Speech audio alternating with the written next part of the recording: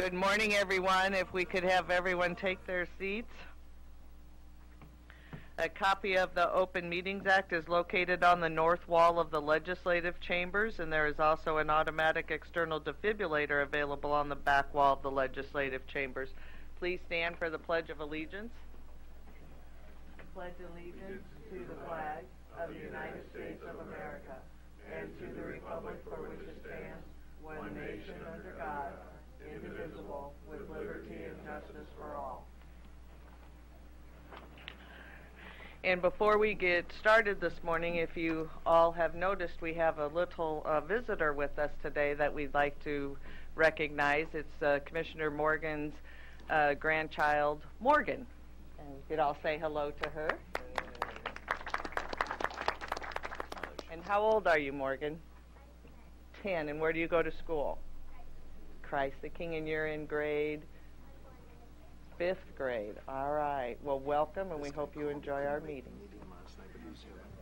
She could run for Grand 20 years, yeah. Uh, 10 years, yeah. Uh, okay, uh, roll call, please, for the Board of Equalization. Commissioner Boyle, Mr. Cavanaugh, Mr. Duda, Mr. Kraft, Mr. Morgan, Mr. Rodgers, Madam Chair. Here.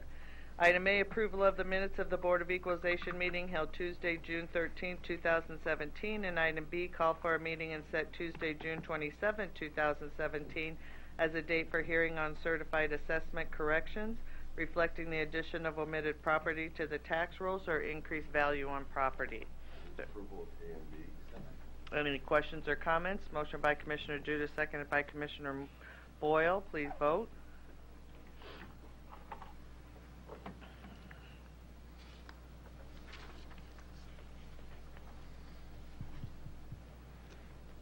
Motion passes. Citizen comments. Is there anyone in the chamber wishing to speak to the Board of Equalization about an item not on the agenda?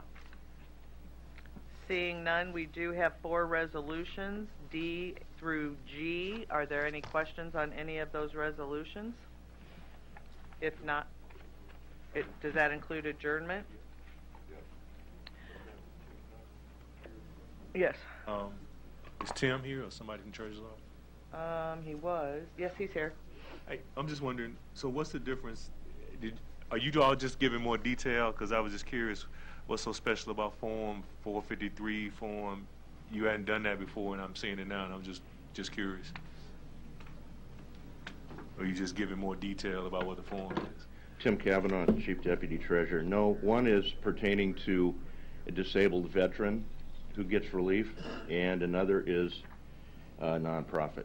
So we've had them before. The, the uh, disabled veteran might be a little more rare that you don't see every, every meeting. Okay. No, I just, you, you list the form particularly, you never, Yeah. I, I don't remember you listing, Well, I have asked them to include a little more detail, maybe in the uh, cover page than we Okay. have before. I think that maybe is what you're talking about. I Okay. guess, is- Okay. Thank Any you. other questions or comments? Please vote.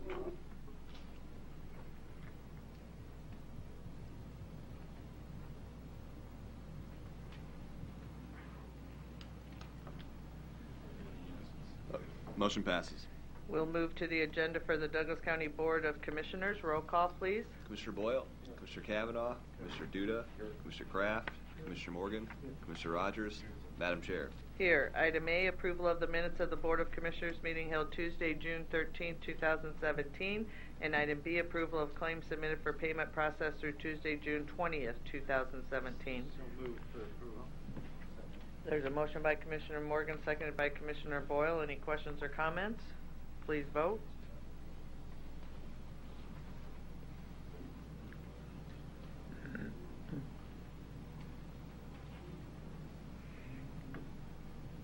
Motion passes. Next is the consent agenda, items A through I. Is there a motion to approve? Motion by Commissioner Rodgers, second by Commissioner Duda. Please vote.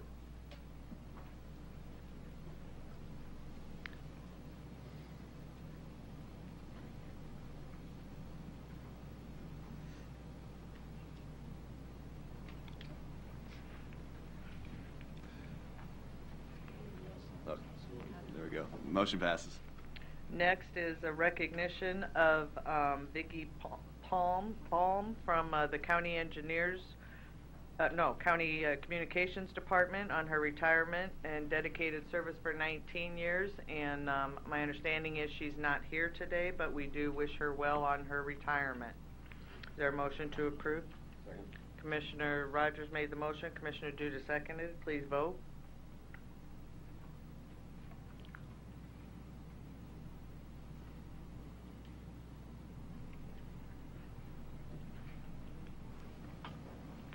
And Commissioner Morgan?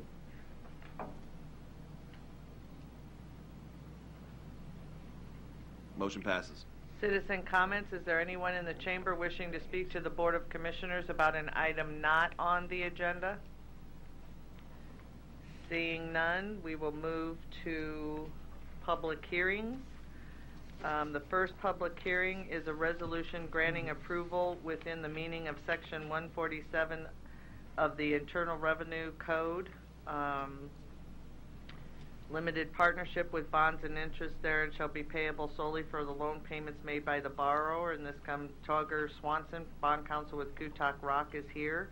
Um, this is for a twelve million dollar, uh, bond for a multi-family senior housing facility to be known as Sorenson Senior Residence, located in, um, Omaha, Nebraska by Sorenson Senior Residents Limited Partnership. Is there anyone here during the public hearing wishing to speak on this item? Seeing none, I will close the public hearing. What's the will of the board? Second. Motion by Commissioner Boyle, seconded by Commissioner Morgan. Please vote.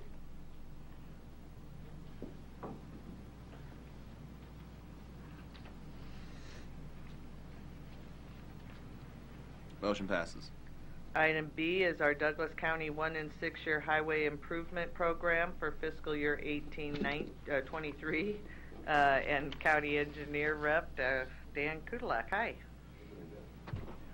Yes, good morning, Commissioners. Dan Kutilek, Douglas County Engineers Office. Uh, Tom Doyle was unable to attend, so I'm going to try to fill in those big shoes for him this morning. As you know, we are obligated by law to present uh, to the Board Classifications and Standards a one and six-year plan. Uh, A little bit of history on that. That's interesting. Back in the mid-'60s, committee was formed by the uh, legislature to uh, put together a uh, formal plan to attempt to organize all the counties, municipalities in the state of Nebraska at least one time a year to present a uh, formalized plan that had transparency in public hearings, those types of things, and organize uh, statewide our, our transportation needs because they are of such importance to all the communities. So in the mid-'60s, a law was passed, and what they came up with was the uh, one and six-year plan.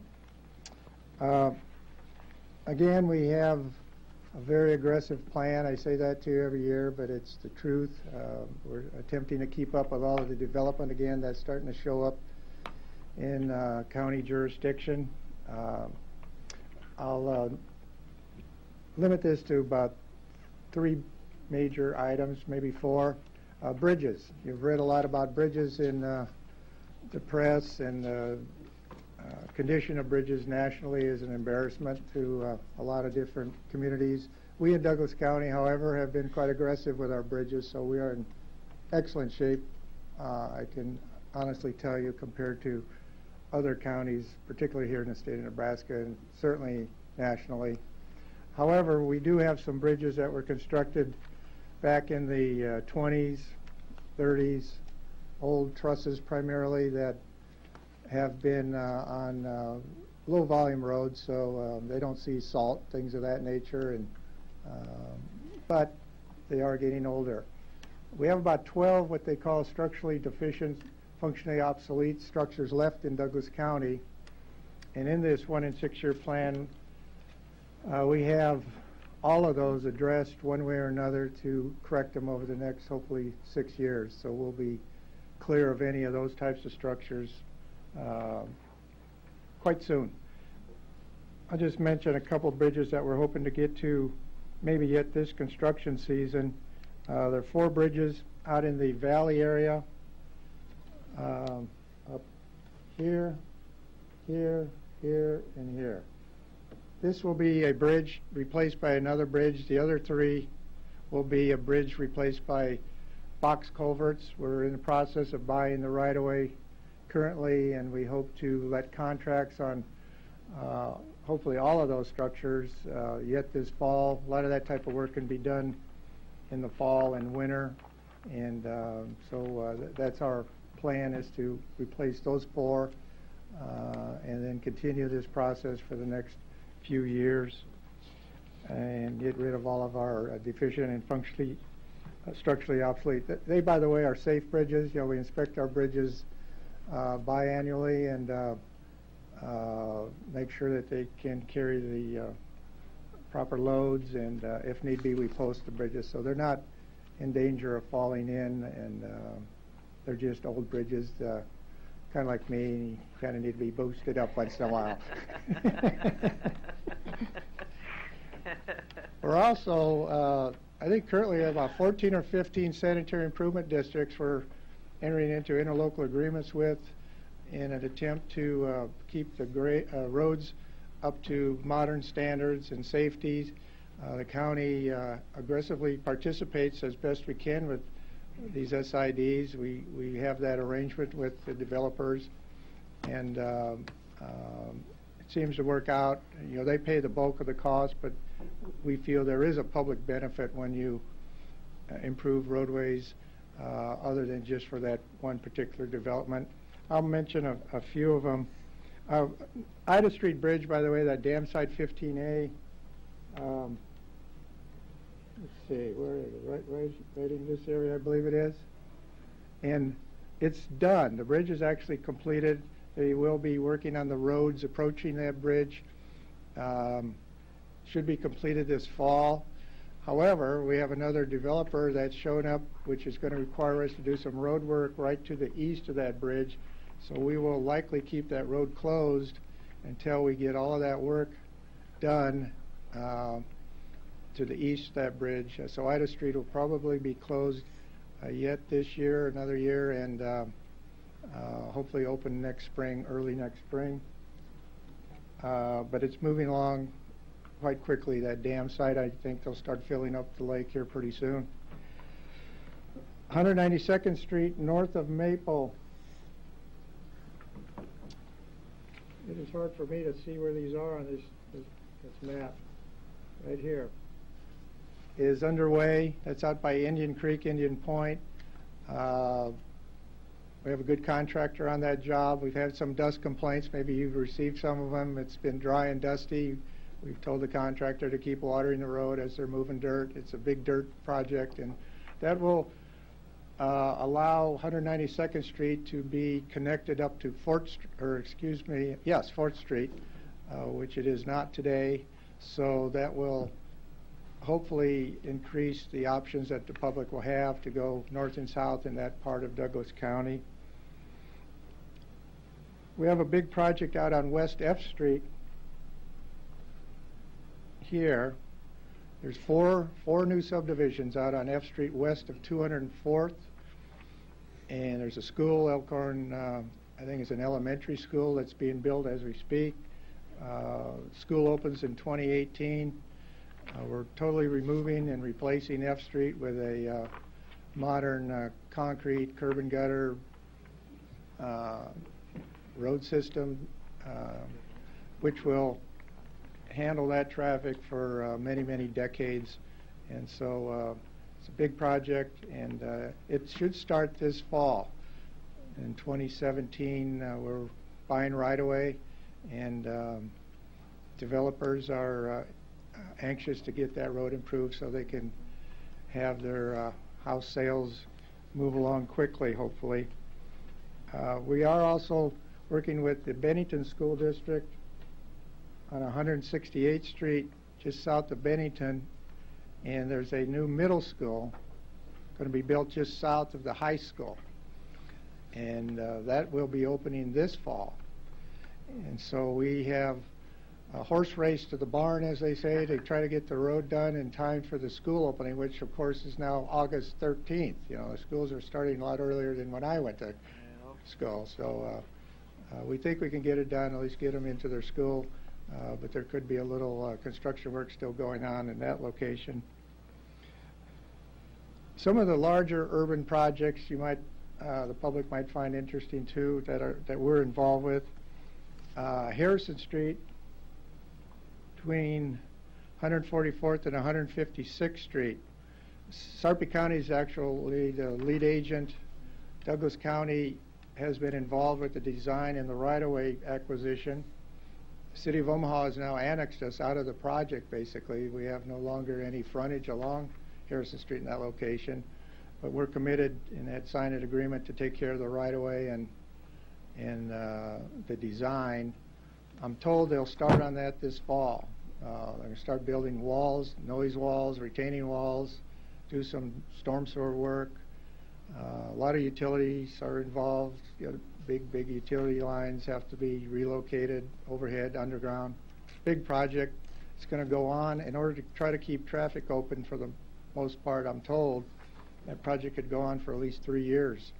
So it's going to be quite a congested area, but they're attempting to uh, accommodate the schools primarily in that area. There's quite a few schools and uh, businesses and that type of thing. So we'll see how that goes. 144th Street Boys Town area, I'm sure you've heard about that big project between Dodge and basically Center Street. Douglas County is still uh, responsible for the portion of 144th between uh, basically Pacific and Dodge. Uh, It's actually the north property line of uh, Miller North High School, which was annexed into the city years ago. They're going to be adding a third lane, so there'll be three lanes in both directions when it's done. There's two today, four lane divided, it'll be a six lane divided road. Uh, I'm told they're going to start in the city's portions, uh, Pacific South, that's where the uh, um, office park will be built for that Berkshire Hathaway company, and so that's a priority, of course. And um, they tell us there'll be some activity this fall on that portion of the road. Pacific Street is also included, which is in the city now, uh, you know, south of the school. Uh, There's going to be some modifications to access to Miller North High School and to the new development, uh, I think it's called The Farm, West. So, large project. Ultimately, they're going to redo the interchange on Dodge Street at 150th and Dodge to accommodate traffic into this large development and multi-use complex. But um, surprisingly, the county has no funding in this project. It's all being picked up by the uh, investors. So that was a pleasant surprise.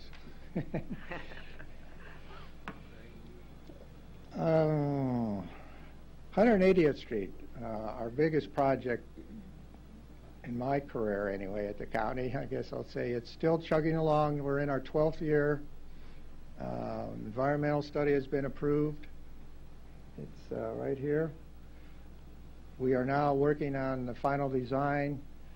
Um, we're working with the railroad for railroad agreements. We're working with the Corps of Engineers for 404 permits. Very time-consuming steps in the process, but we've had a lot of communication with those two entities, and uh, we feel confident that that'll move in a timely manner. We'll be buying right away in 20, let me think here, 2018, and a construction letting is scheduled currently for the fall of 2019. So it's still out, but uh, we're we see the light at the end of the tunnel. It's a major improvement that is needed in that part of the county. Um, coincidentally and interestingly, you can see on our map 168th Street, north and south of Blondo, 156th Street, north and south of Blondo. The city of Omaha is the lead agent on 168th Street. North of Blondo is in Douglas County and we're going to use ASIP funds, uh, Arterial Street Improvement Program funding, uh, to pay for that project. And the reason being, that's local money, and with local money, you can speed up the construction process by many, many, many years. 156th Street is a federal aid project. It's been languishing for about 10 years also. Uh, but it is coming up. They, they feel that could start in 2019. So our job will be in earnest in 2020, 2021, 2022, and that type of thing. But 180th Street is a, obviously a low volume road because it doesn't cut through. Uh, we want to get Blondo Street open quickly, hopefully by, say, 2021. This will be done in 2018. They want to build it all in one year, by the way. That's the plan right now, to build it. It's a huge job, $18 million job, I believe, at least. They're buying the right-of-way. They hope to get it done before 156th Street and 180th Street kick in to allow people uh, detours and accesses. So keep your fingers crossed.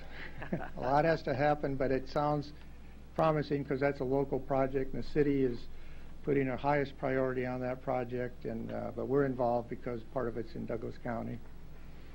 Lastly, just want to mention we are also aggressively doing what we call maintenance uh, uh, projects on our county roads.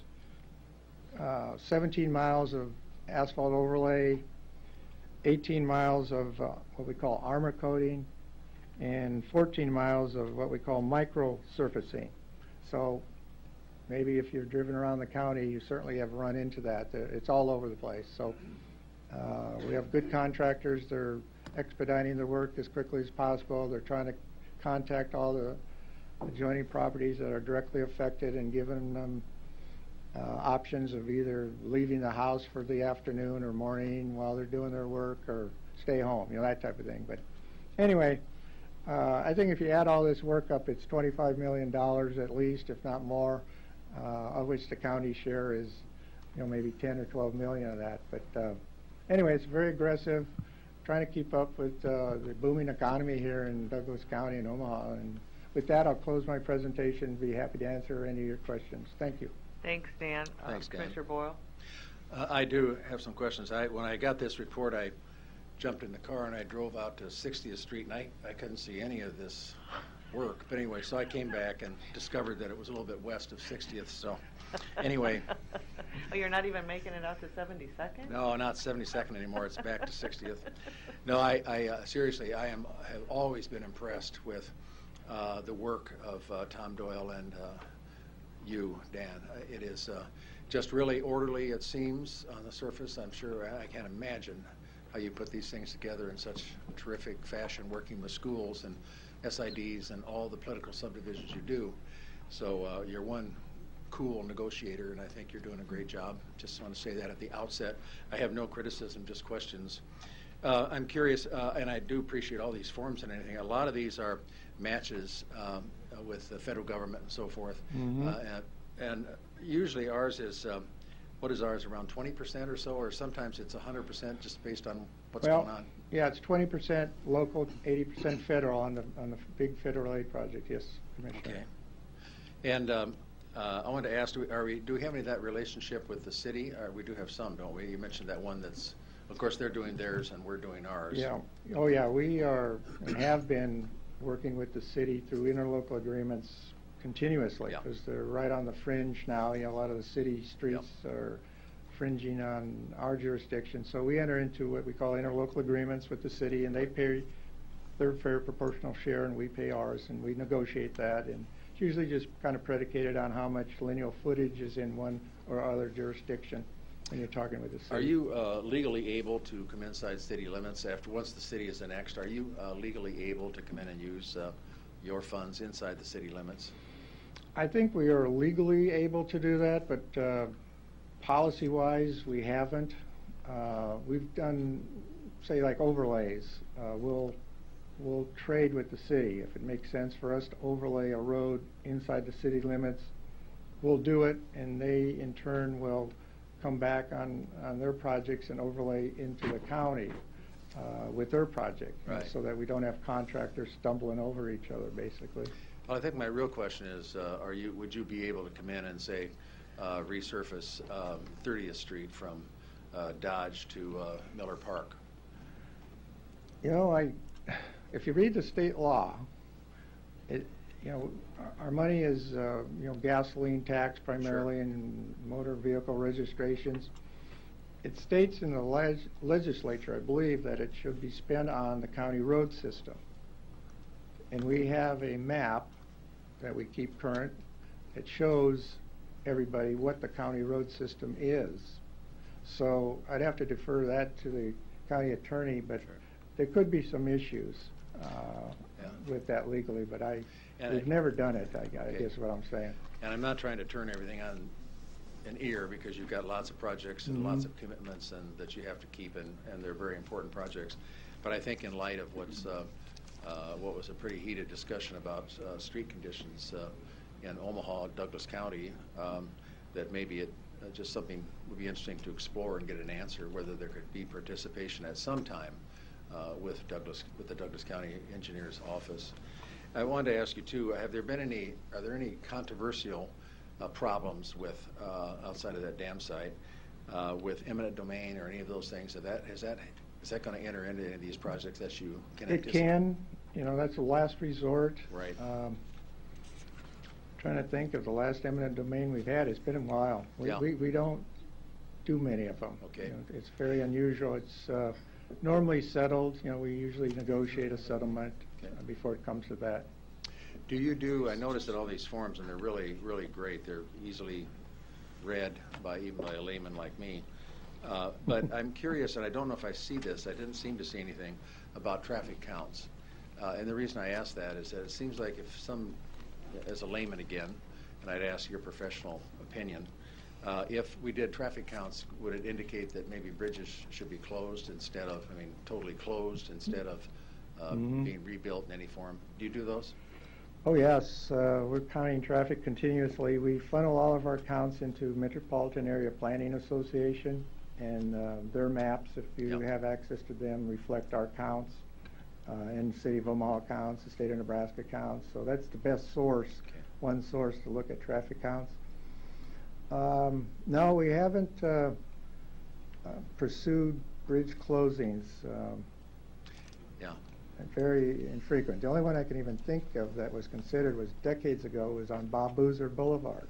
That bridge fell in literally between Pacific and Center. Oh, And. Lou Lamberty was the county engineer, actually. That was Lou's And- fault, I'm sure. Well, he, I Just guess he, joking. he, he uh, put up a, a, a concept about closing the road. Well, guess what? There was a lot of pushback on Yeah. it. Uh, the, Right. the commercial property down, the, the Miller brothers, uh, Sure. I'm sure some of you knew them. They were not uh, interested in entertaining that at all. So Right. we replaced that bridge. Well, before Commissioner Duda brings it up, I know many times uh, bridges are used, uh, Mary, uh, at- it could be minimally, but very importantly by farm vehicles that are crossing, getting to fields and Mhm. so forth, so I'm not suggesting that, just curious. And I want to close by saying um, uh, how much I personally appreciate um, your professional presentation and the long history of that from your department. Mm. You have a, uh, we never hear any, uh, any complaints about how you're working with other MAPA, whoever it may be. So Mhm. uh, you're just doing a terrific job, and I personally appreciate it. Well, thank you, Commissioner. Thank you. Commissioner Morgan? Dan, as Commissioner Boyle said, the Surveyor's Office does an excellent job, and uh, I wasn't going to say anything, but uh, I have to tell you that you made a nice, nice presentation. You emulate a young man by the name of Bill Green as you made Oh. this presentation, and you can pass that on to him. I And, will, uh, thank you. You take care. We Thank you. Appreciate that. Thank you very much, Commissioners. Thank you, Dan. I do have just one comment. The um, Old Lincoln Highway project, um, now that President Trump has um, gotten rid of the U.S. Waters um, executive order, that hel- is helping move We, that along, or You know, uh, yes, to answer your question, that it would be a tremendous help. Matter of fact, uh, you know, the project was languishing for years. And um, there was a um, town hall meeting that was held, which I attended, and uh, there was a, a re- representative from the federal government there, and I told him this story of uh, our 180th Street project. It, it was 10 years, a couple of years ago, and I and I and people are of course asking the federal government for money. We want money. We want money. I said I don't want any money from you. I just want to get the project let because in this delay of this project, conservatively, it's cost the public 10 million dollars just in inflation. It's probably more than that actually, and nothing's changed. It's the same project. It's just uh, delays to get the process done. Well, it wasn't within two weeks that the local federal highway uh, representatives in Lincoln called a meeting, and we started moving the project. Things happened. So I think, um, I'm sure that that uh, assistant director of the Federal Highway Department made a phone call, and that makes a difference. Yep. So with Trump's support of uh, deregulate or not, or, or rolling in some of the regulations, making them more common sense, that can do nothing but help in a lot of ways. No, that Absolutely. that was a real interesting one because um, Senator Fischer held that public hearing Mhm. that time that um, you all helped prepare the information for, and it was mind-boggling to a lot of people because everybody looked at it as more um, of a rural issue um, on roads than an urban issue on roads, Mhm. and ours just kind of stuck out there like a sore thumb. So I'm glad to see it moving along, moving Yes. along now. Absolutely. Thank you. Thank you. Okay, no other questions? Thank you very much, Dan. Thank you. This is the public hearing. Is there anyone else wishing to speak during the public hearing on this item? Seeing none, what is the will of the board? Uh, Madam Chair, we need to close the. Oh, I closed the public hearing. Sorry, thanks. I'm going to close the public hearing. Is there a motion to approve? Second. Motion by Commissioner Boyle, seconded by Commissioner Morgan. Please vote.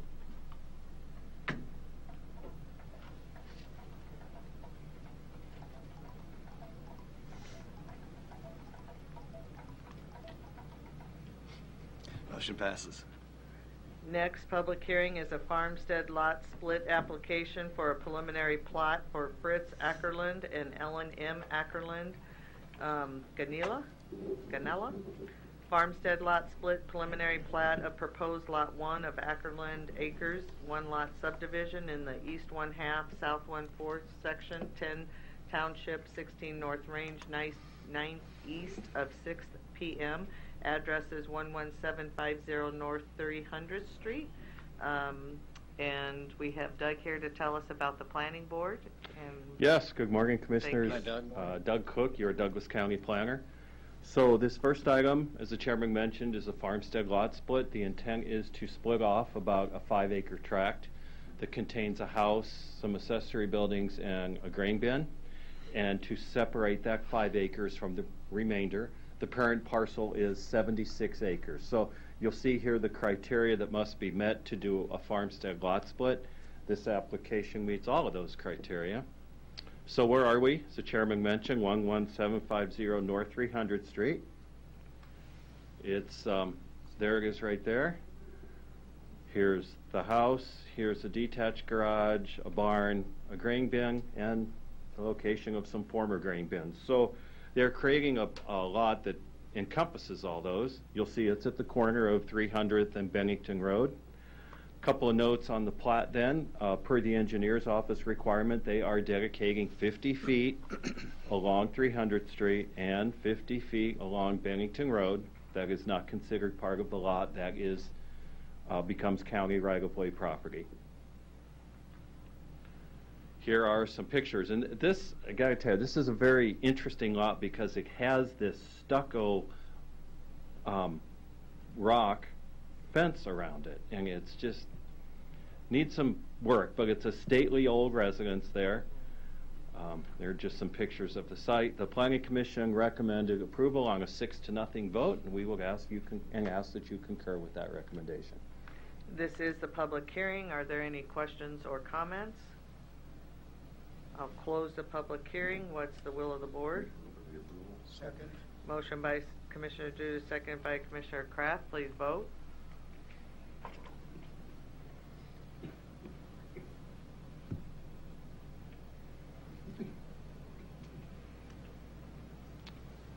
Hmm. Commissioner Morgan, Boyle, and Rodgers. I can't get mine to respond. Voting yes, Commissioner Boyle? Yes. Okay, motion passes. Next is item D, and this is the final plat for the uh, same property that we're talking about. So Doug, do you want to add anything? No additional comments, Madam Chair. Okay. Is there anyone here wishing to speak during this public hearing? I'll close the public hearing. What's the will of the board? Motion to approve. Motion by Commissioner Kraft, seconded by Commissioner Morgan. Please vote.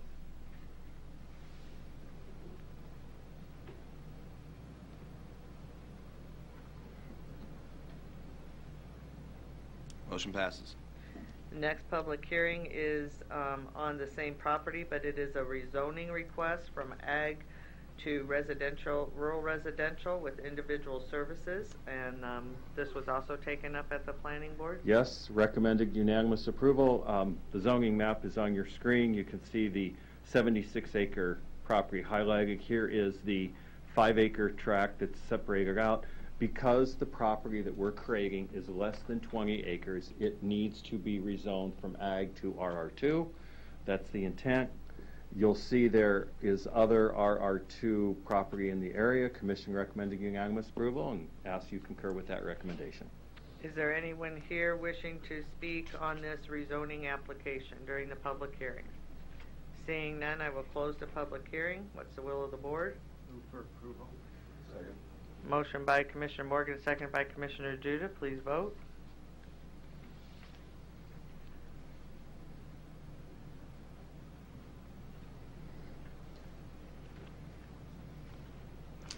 Trying to vote yes again. Okay, Commissioner Cavanaugh?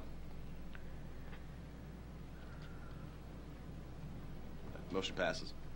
Okay, thank you, Doug. Yes, Madam Chair and Commissioners, just one quick thing. Uh, Since the last time I was here, a very exciting thing has happened professionally in the world of sports, but also locally in the world of sports, and that is, um, I'm originally from Pittsburgh, so I'm obviously a Pittsburgh Penguin fan.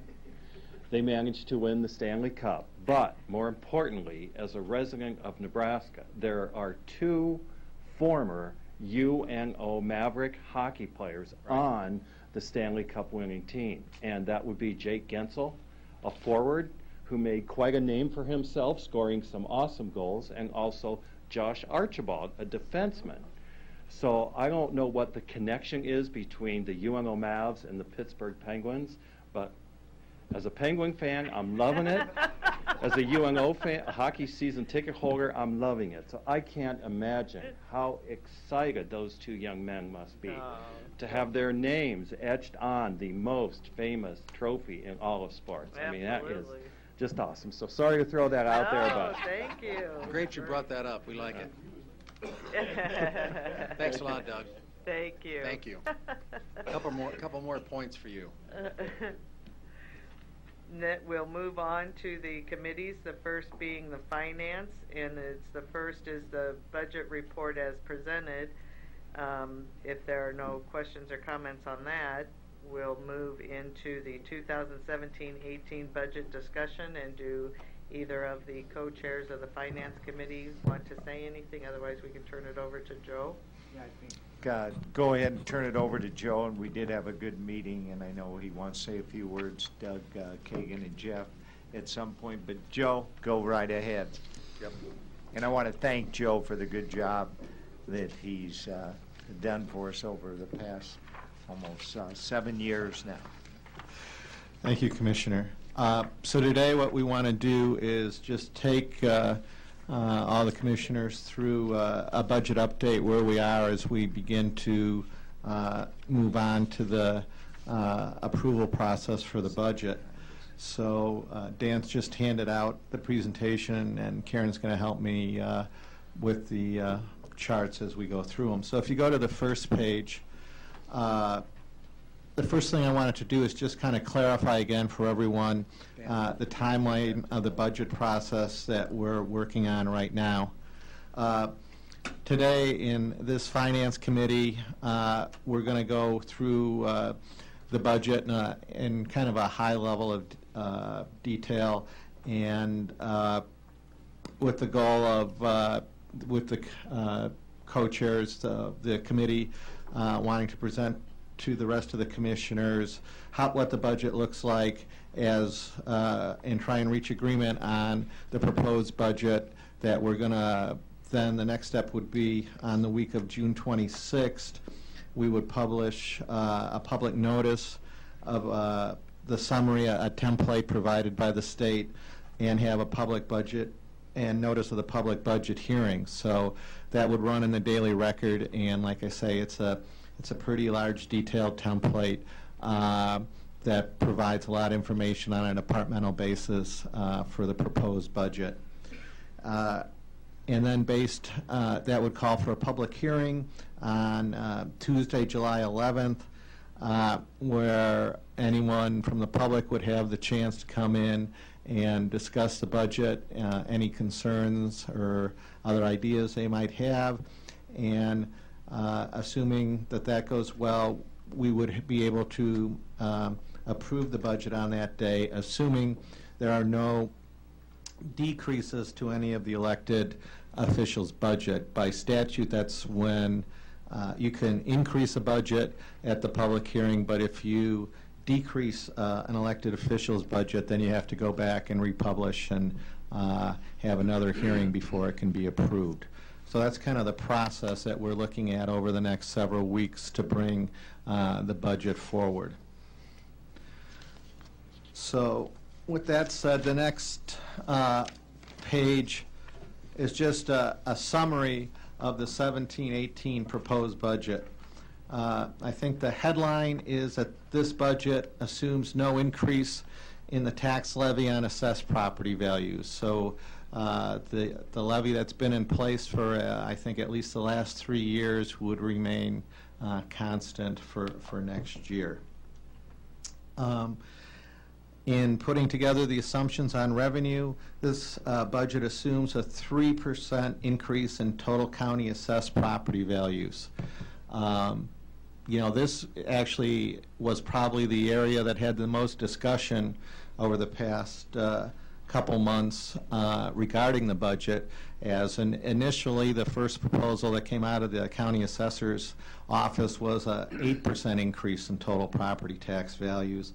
And I think, as we're all aware, uh, there was a lot of discussion about that. And uh, so in the final budget that the, uh, uh, for values that the uh, count- county assessor turned into the state and was approved by the state, it called for a 3.15% increase in total assessed values for the county. You know, given the Board of uh, Equalization protest, we're assuming that that 3.15%, uh, we're assuming that that would be about 3% at the end of the day. So that's what we use for an increase in uh, property tax revenues, which is, you know, considerably different in uh, its implications than uh, the original 8% would have been. There's really, at 3%, there really is no windfall.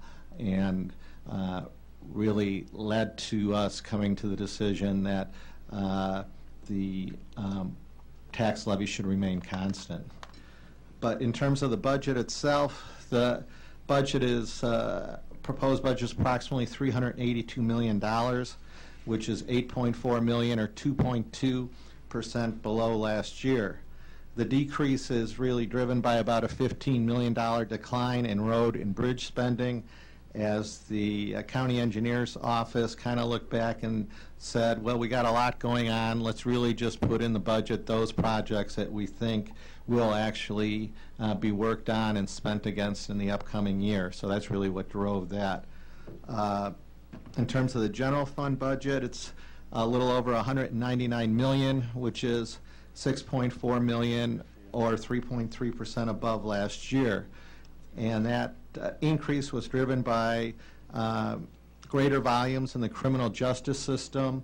Uh, You know, the next chart will go into it a little bit more, but uh, within the county, that's really the area that's seeing a a- a considerable increase in caseload and volume, be it the public defender, the county attorney, the sheriff, corrections. Uh, There's just a a significant uptick in volume uh, that's coming through the criminal justice system. And with that uptick in volume, it also is driving uh, an increase in cost. Uh, And the other factor that really accounted for uh, the increase in the um, general fund budget was uh, higher employee health care cost, and that is really something that is not unique to Douglas County, but is something that uh, the whole uh, employee, uh, employer uh, health care insurance uh, system has been trying to deal with over the past several years and is continuing. Uh, So at the, uh, the final number would be the proposed budget for operation supported property tax, which is 5.1 million or 1.8% above last year. So that's kind of like I say, the uh, key headlines from uh, the proposed budget. So if you go to the next page, uh, these are the areas that had uh, expense budget request in excess of the target. And uh, the four groups there, you can see the county attorney, the public defender, the sheriff, and 911 communications all came in uh, and had uh, presentations made to the finance committee during Tuesday meetings here in this chamber and gave their rationale uh, for the expenses. I think uh, the commissioners all felt that they understood the rationale, that these are uh, key functions for the county, and that in order to really support the criminal justice infrastructure, uh, that these spending requests were merited. Uh, And then the other uh, area that had uh, an increase above the target, as I discussed, was employee fringe benefits. Um, So if you look at all these requests over target, uh, it summed up to about $1.3 um, million dollars. And then if you go to the next page, we can go to the uh, summary of the budget calculation. And with the top line is basically our revenue projections, including uh, tax revenues, uh, department fees, and all sources of revenue for the county. Then the second line are uh, the summary of total expense budgets for the county. And the third line is the uh, deficit surplus. So uh, this year, we, uh, as we put together this budget, uh, we went through and made some reductions, and what we came back feeling most comfortable with is the current budget has a deficit of a little over $800,000, but in terms of close to a, a $400 million uh, budget, that $800,000 is uh, less than one half of 1%, and uh, to be honest with you, it- these are a budget forecast. We're not that exact, so we feel that's within our margin of error. Last year, we had a, a- a s- the similar number was $1.2 million deficit, and the way the budget's looking here with about uh, 10 days to go, it looks like uh, there will be uh, uh, some slight revenue uh, gains and also some, uh, we're not going to spend all the money so that this year the budget should be uh, uh, just slightly above break even by the looks of it. And the assumption is that, uh, you know, the, the $800,000 that we're short right now could be covered by that same sort of uh, favorable estimates at the end of the day. So the recommendation is to, to go ahead with this budget with these numbers, uh, uh, accept this proposal, and put this budget out for the public hearing uh, on July 11th. And with that, I will take any questions about anything in the budget. Commissioner Morgan? Well, Joe, again, thank you for your work for all of us, especially Commissioner Boyle and myself in putting this together. And I just make a note that where we, if we could have reduced uh, the mill levy, it would have been uh, if we had not had these increases in the public safety area uh, with the county attorney, public defender, sheriff, 911. And as we heard, all of us at this meeting uh, from these people, you know, their caseload because of the increase in crime and so on, uh, that was the need for uh, those increases in their budget. And of course, then employee fringe benefits, 4.1% uh, increase there, which all of us are aware of uh, those continual increases. So I thank you uh, very much for your effort and all of the commissioners for their comments and questions too. Commissioner Boyle? Uh, I'd like to echo what Commissioner uh, Morgan said. I, I think it was um, uh, really a thorough, complete look at our spending. And um, uh, I, I went through quite a few of the budgets that uh, were uh, approved and tried to find someplace, uh, you know, to pull something out. About the best I could get was spending less money on toner and copy machines and things like that. It's a tight budget and one that is realistic.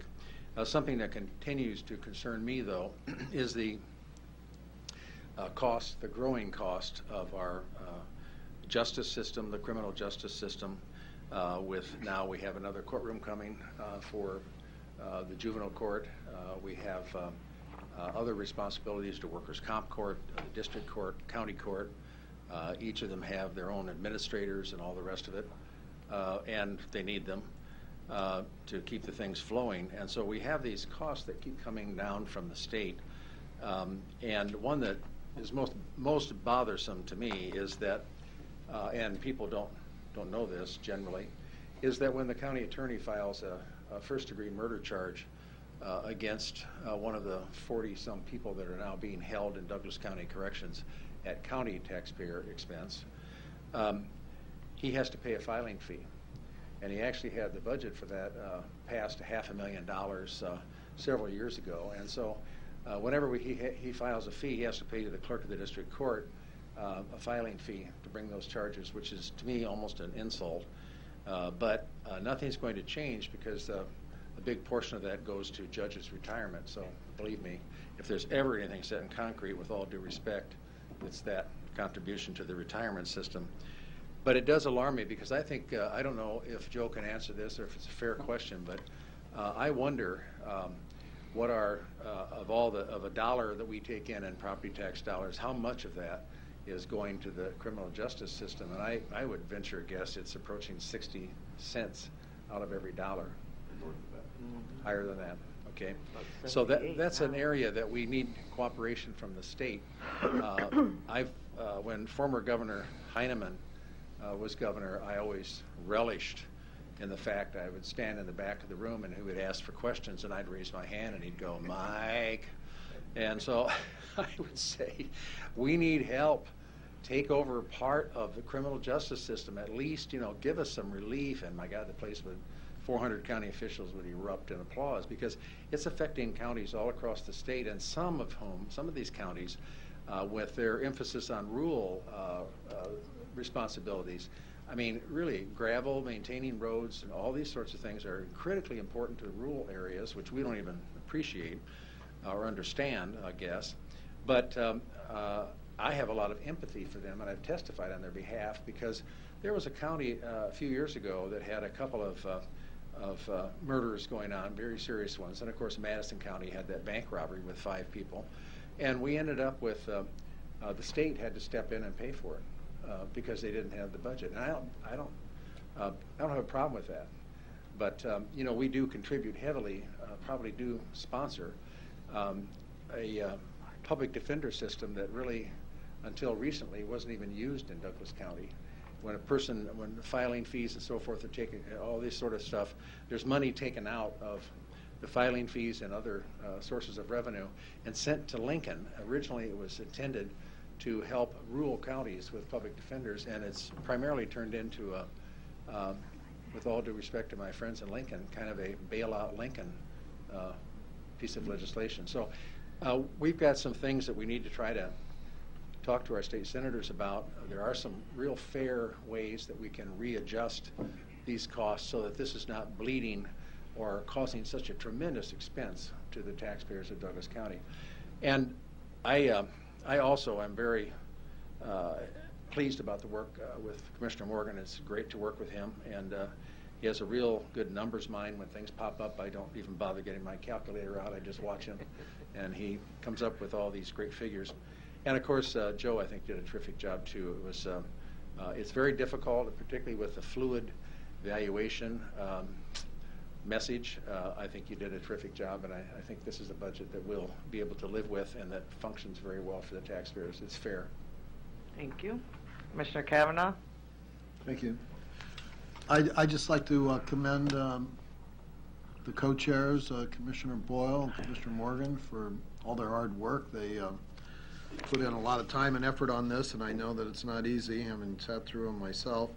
Um, And thanks, Joe, for the uh, concise uh, briefing document. I, I look forward to uh, the, the entire department by department document to go through uh, for my own edification, and I believe we have or will be able to have it posted on our website, the clerk's website. Is that correct, Mr. Clerk? Uh, Dan Esch, Douglas County Clerk. Yeah, Joe gave me a document that we put on the on the website, and it's got the, uh, I guess, requested budgets, if you will, from or at least the document that each department was asked to fill out to provide back to the uh, Budget and Finance Director. So that is on the DouglasCountyClerk.org. That's currently available to the public. Is Yes. right? Yes. Great, thanks. Um, So that, you know, we can have a fully transparent budget process, I think that it's important that uh, people have it. I indicated, I think, uh, a week or so ago that we might want to blend the uh, process that we've used in the past with the, um, the current uh, kind of abbreviated process to give us a, a- a little more in terms of actual public hearing. And I know that from my discussions with uh, Doug Kagan and folks at uh, Taxpayers for Freedom uh, uh, group would like to have um, a little more opportunity to sit through it. I, I think that with social media, it would be much more um, user-friendly for people to go online and watch those uh, hearings from the comfort of their own homes. But that said, uh, I want to commend you guys for a job well done, really. Uh, It's uh, not easy, and um, it's, I, actually, I think, kind of a, a bit of a good news budget in terms of um, we're balancing things and revenues seem to be adequate. I, I hope that we can maybe uh, revisit the uh, revenue question again before we set the mill levy. Uh, It's always good to, to look at that um, on an annual basis. Um, But with revenues up uh, and expenses, you know, pretty stable with a couple of exceptions beyond our control, I guess, as, as Commissioner Boyle has pointed out and Commissioner Morgan. There are just some things that we have to do. Uh, And um, that said, um, it's, it's always a, a tough job to, uh, to balance the, the needs of the county uh, with the available resources. And um, I, I think that, you know, working together, uh, we can do that. Um, And keeping an eye at all times on the fact that uh, we don't want to tax people any more than absolutely necessary to perform the uh, necessary functions of government. So, thank you, gentlemen, I appreciate it, and Joe, thank you. Uh, We look forward to the discussion on uh, July 11th. No other questions or comments um, from the public, are there? Hi, Jeff. Good morning. Morning, Commissioners, and uh, Jeff Stevens, 14518 Webster Circle, uh, NTF volunteer, and uh, I first of all want to thank Joe and you Commissioners for your communications during all this process. And uh, it's the uh, the new method this year of, of setting the targets, uh, I think, was done in terms of trying to create a more efficient process, and I think that's that's at least always a very good first thought. Uh, I, I would also like to discuss perhaps a tweak in the process where there's a, uh, a, a more preliminary phase where things are a little more fluid. Uh, as we see this year, the departments that did go over the targets are related to criminal justice, public safety, and uh, employee obligations that, that you folks made. So if, if in the future we were faced with more of a deficit, it would be nice to have the opportunity to go back and, and set priorities without having to uh, talk to people who've met a defined target who would feel uh, perhaps let down a little bit that you know they, they weren't a high priority and it had to go back and, and be revisited. So that's just uh, food for thought. Um, for the future, but otherwise, again, appreciate your communication and keeping the tax levy level. Thank you. Thank you, Jeff.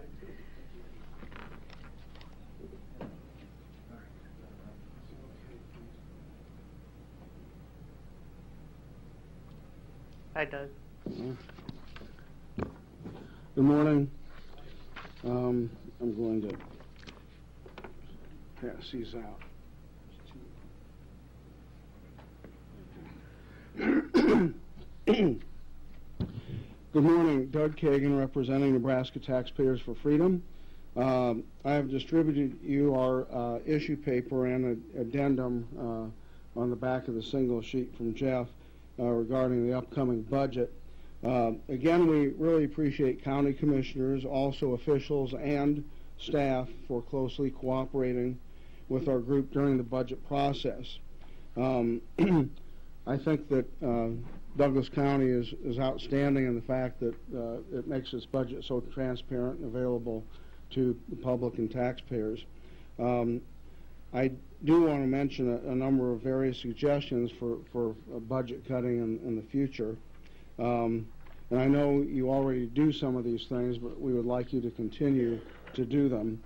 Um, analyze all non-mandated uh, services and eliminate and curtail these functions like the law library or extension service. Uh, lobby the legislature to end, end unfunded state mandates on counties. Also use private sector performance standards to evaluate cost and performance of county services. Install a monitoring process for use of all technologies such as cell phones, iPads, etc. Institute desk audits to analyze workloads for employees. This is something done in many uh, companies in the private sector. Uh, we don't feel there's a need for a public information officer, that the staff can be the spokespersons. Uh, if intent on hiring a specific uh, one grant specialist, the specialist should replace department grant writers. Uh, keep pay raises at or below the inflation rate. End all longevity, specialty, and other added uh, pay like step increases, special time off, and tuition payments. Uh, peg pension benefits to base pay only. Require employees to pay at least 9.5% of their salary into the pension system. State patrol officers now pay 17%. Raise civilian employee retirement age to 60. Employees who retire earlier would earn drastically lower pension payments. Place higher priority on HMA recommendations that reduce uh, health center expenses. The uh, health center is still hemorrhaging about 15 million uh, a year, and that amount could really cover a lot of other county expenses. Um, and non-mandated long-term care services that are funded by property taxes. Um, this is a new one. Investigate if UNMC might have interest to manage the health center. Uh, verify that clients and prisoners actually are mentally ill when providing health services and incarceration. Offer services only in the English language.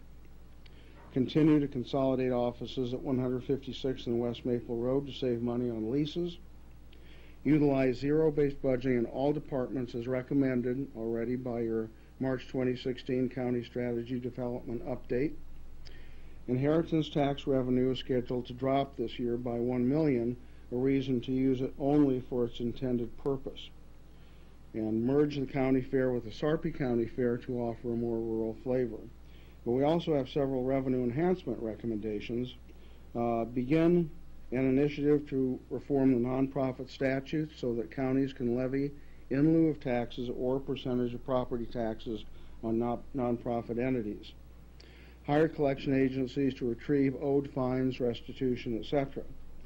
Actively market services to adjacent government subdivisions and determine that fees charged for county services pay for both time and cost expended. And we've learned that actually you need the, the state to approve doing that, so you can lobby the late, uh, state legislature.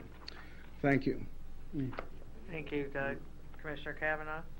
Doug, I just wanted to say thank you for participating in our uh, property tax town hall. You took time, and uh, we appreciate uh, private citizens coming out, uh, and the the briefing that you gave at that town hall uh, was informative and instructive, so thank you.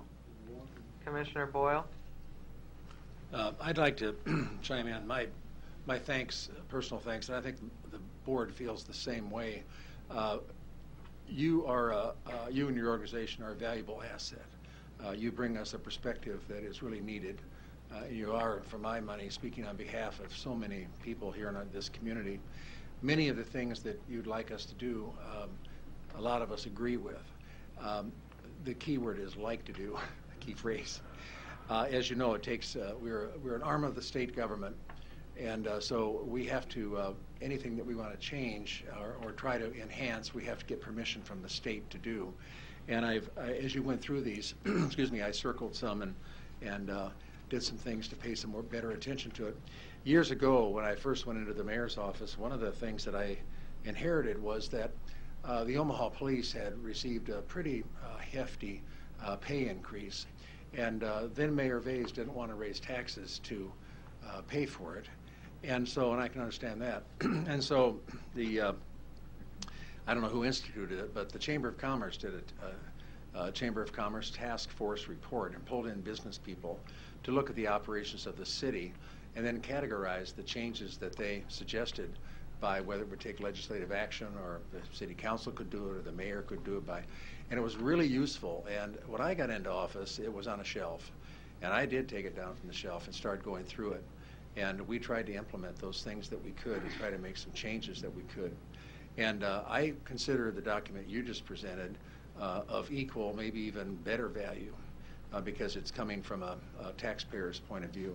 So I intend to take the document you handed out and um, begin to take it through some of the committee hearings and actively discuss it, see if we could get legislation, get NACO support and so forth. Bottom line is, it's a valuable document, and it really comes from the perspective of informed citizens. So I appreciate your activity. I want to thank you publicly for the effort you put into this. It's pretty astronomical. It's incredible. Thank you. Commissioner Morgan? Doug, I too want to thank your organization and the way you participate in our budget process. And I'm not trying to necessarily toot our own horn about this, but I think you've said to me, and you can correct me, that the county budget, and I know Mark and I were the, my first year here, were on it. I think the transparency does not exist at any other uh, subdivision of government to the level that it does here at Douglas County. Uh, if that's an accurate statement. And, uh, you know, I think all of the commissioners should be proud of that, and all of them participate. And I really thank our chairperson and the others for always being there with us. And I think what we'll try to do, we had a meeting this morning at 8 uh, with Joe Lorenz that you requested. I think what we'll do this fall is have some meetings to talk about some of these items that he just mentioned and kind of talk about how we do even a better job, hopefully, and work with Joe Lorenz. And again, Joe, I appreciate uh, your expertise and all the help you give to us. I always worry about Joe a little bit. His office looks like about 10 attorney's office with the stacks of papers that he has in there, but uh, he's a, a great uh, help to all of us. Thanks a lot. Well, um, I want to, did you have another comment? Come on up. No, go ahead, come on. It's more important to hear from you. Good morning. Good morning. My name is Larry Storer, 5015 Lafayette, Omaha, Nebraska, 68132. I'd like to agree with all of you in regards to Doug Kagan. My uh, appreciation to him, too. I am with their group today, but my words are going to be my words and uh, not connected, filtered, screened by anybody connected with NTF. But, and hopefully I'll uh, hopefully you'll take this from a humorous standpoint, but I did bring my fly swatter today. And in the spirit of the July 4th holiday coming up, I'd like to remind you all again that you are all elected, and I'm not. Uh, but I pay most of the salaries of the taxes. And we have a few questions that have come up, but I'd like to first of all get onto the juvenile justice thing. Uh, I've been involved with some other groups that are monitoring courts and judges, And I'd like to say, you know, you can find some items in the budget to squeeze, like pensions for judges that don't represent the constituents. Judges that remove us from the courtroom before we get to hear what's going on, before we get our say, before they have the facts. Because somebody said something to them in their ear in the chambers before they even came out. Excuse people from the courtroom before she even sat down on the court bench. Anyway, uh, the state's going to send us another one. Well, as we're going through these things, the Juvenile Justice Department, for example, or even the, the, the adult, when we have, we pay outside agencies how much money to come in and study our juvenile justice and our justice system, to come back and tell us how many disparities we have. I won't go into that, but, but they do. Now, maybe we fired them finally, but you still have outside people coming in to tell us and then recommend programs that cost more money as well as being paid for the time they spent. Can we not find citizens in our own city and our own county to do that? We have a wonderful university. Why do we pay people from Pennsylvania? A retired Supreme Court justice from Pennsylvania to come in and give us a program on child find, family find, now they've changed the terminology. It's called uh, saving families. And the state legislature will sit down and ask for $20 million to go into the school systems and find more children that have problems that we can go help and get taxpayer money for.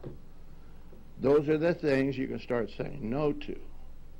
Now, in regards to the fourth, the whole idea of the uh, Declaration of Independence and our new Republican form of government is that we should not have family dynasties running our governments. so that's a fly swatter. I don't know how many pensions you get. Can you have multiple pensions if you've been a mayor and a city councilman, et cetera, et cetera? Let's rethink that. Maybe a term limits suggestion. I can't vote. I can't tell them who to vote for, and I can't vote for the guy not in my district. But you guys, have, a lot of you have all been here since I can remember, and I'm 74. so, grow some other people outside the family, please. Thank you. Thank you very much for your comments. That's why I brought uh, Morgan Hockney here. Ah, to he's take grooming my her. place. No. Anyone else wishing to speak from the public on this? Um, I just would like to say thank you to the co-chairs and to our finance um, director, Joe Lorenz, for um, a great budget process this year.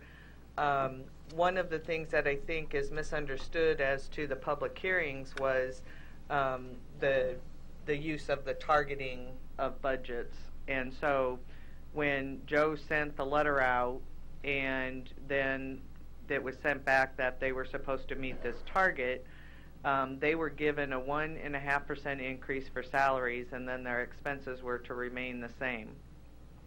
So anyone who didn't meet that target were really the ones who came before us.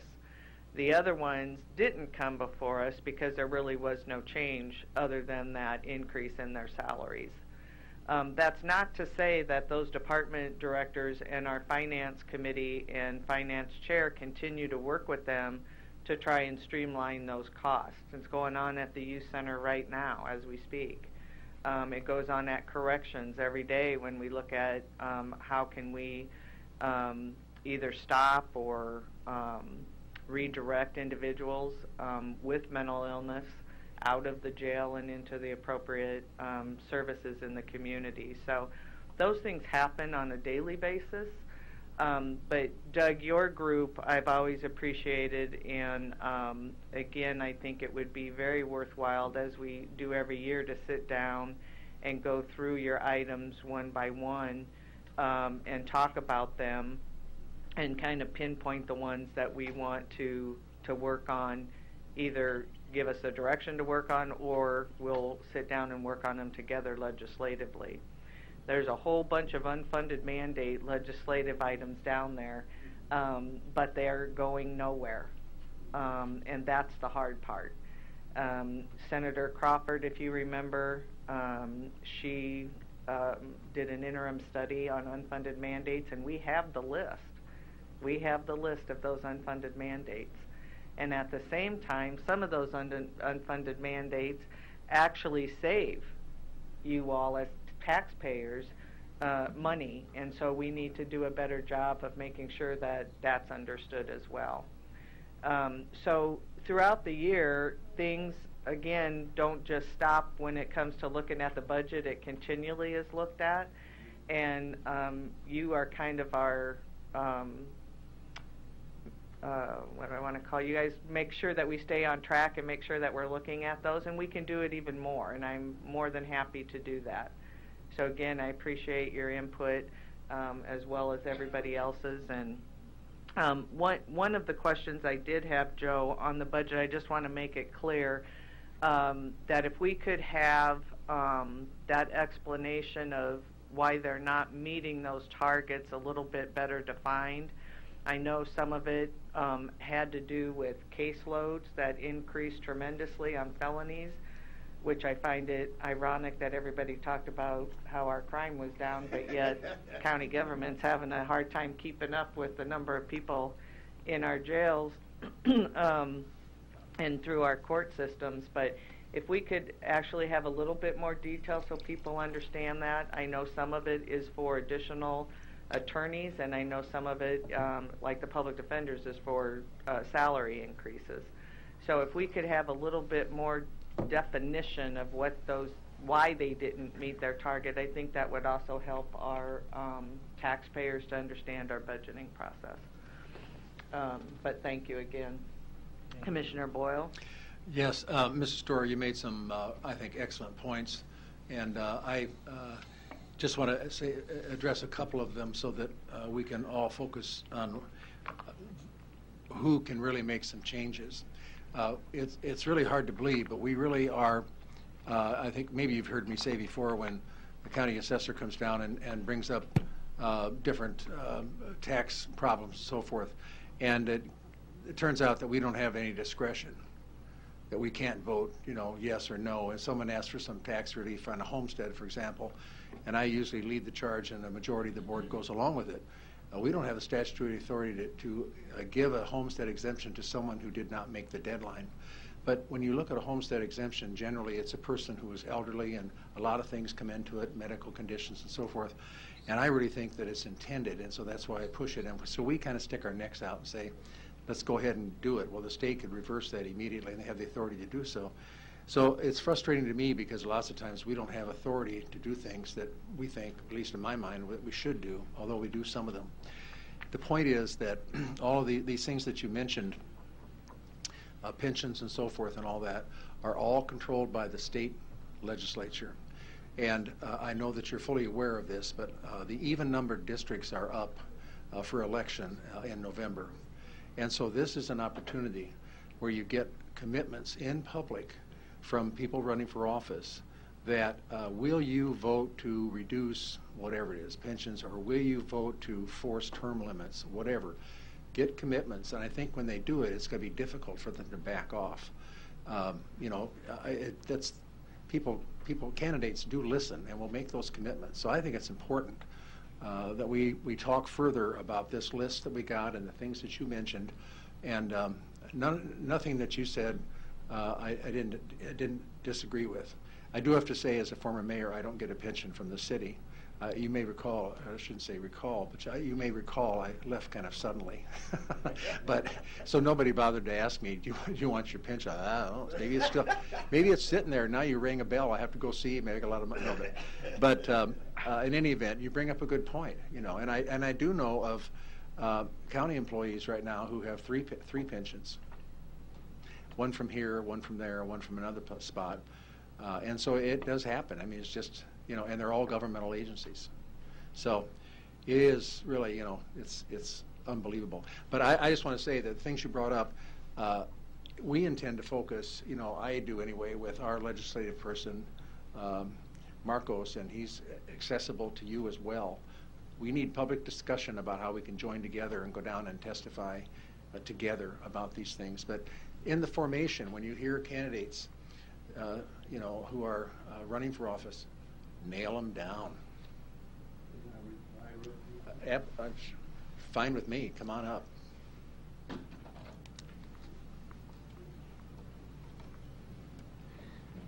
Thank you for your input. And yes, we'd like you to join us down at the State House for our three minutes. But, you know, I, I think you probably get more than three minutes. No, we don't. We get the same amount that you But get. also, uh, I remember another board meeting like this where Mr. Duda, I believe, correct me if I'm wrong, but didn't you try to pass the buck to the state also? That you have no prerogatives because it's dictated by the states? That's true. Okay, well, will you join us then in a constitutional amendment as you suggested we might need? You're the leaders here, you have more power than I am. Can I? Okay. So, maybe that would be an idea, okay? There's lots of good ideas. Thank you. And we will work, I will work with you for sure, and I'm sure most of the board will as well. Thank you. Commissioner Cavanaugh?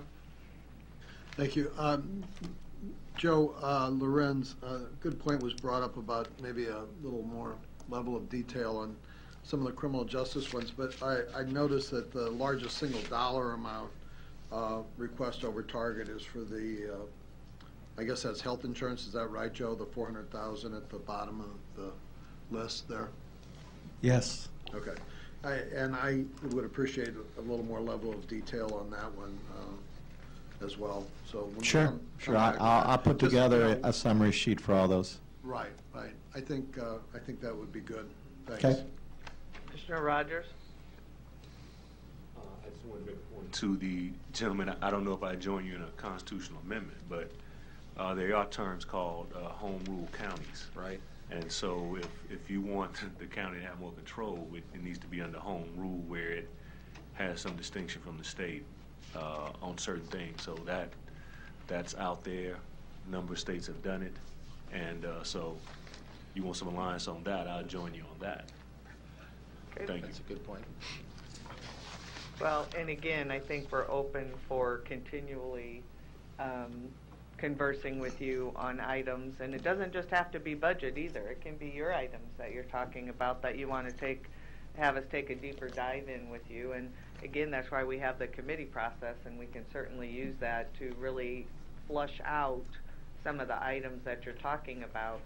Um, it is kind of hard to understand, and it's not, I want to make clear that this board doesn't try to pass the buck, but we also have to realize where we have the authority to do something and not do something, but that doesn't mean that we don't continually try to get to the state to work with us. So whatever items you have, we'd be more than happy to um, continually work with you on those, because I'm with you on the, the juvenile court items. Um, with that, um, that is it for the budget um, conversation. We do have a couple items for child and youth. The first is the Douglas County Youth Center report, and that's going to be held over until um, maybe next week. Um, the resolution directing the closure of the staff secure unit at the Douglas County Youth Center as it is no longer needed. Um, Patrick, did you want to comment on Right, that? so it's actually empty now. There are no kids in there because of the uh, requirements of the Prison Rape Elimination Act, known as PREA. There's some much stricter classification requirements, how you classify detainees. So we really need that unit um, because of the new classification standards, and we really have no use for it. We don't have any any kids in that staff secure unit anyway. Okay, Commissioner Rodgers?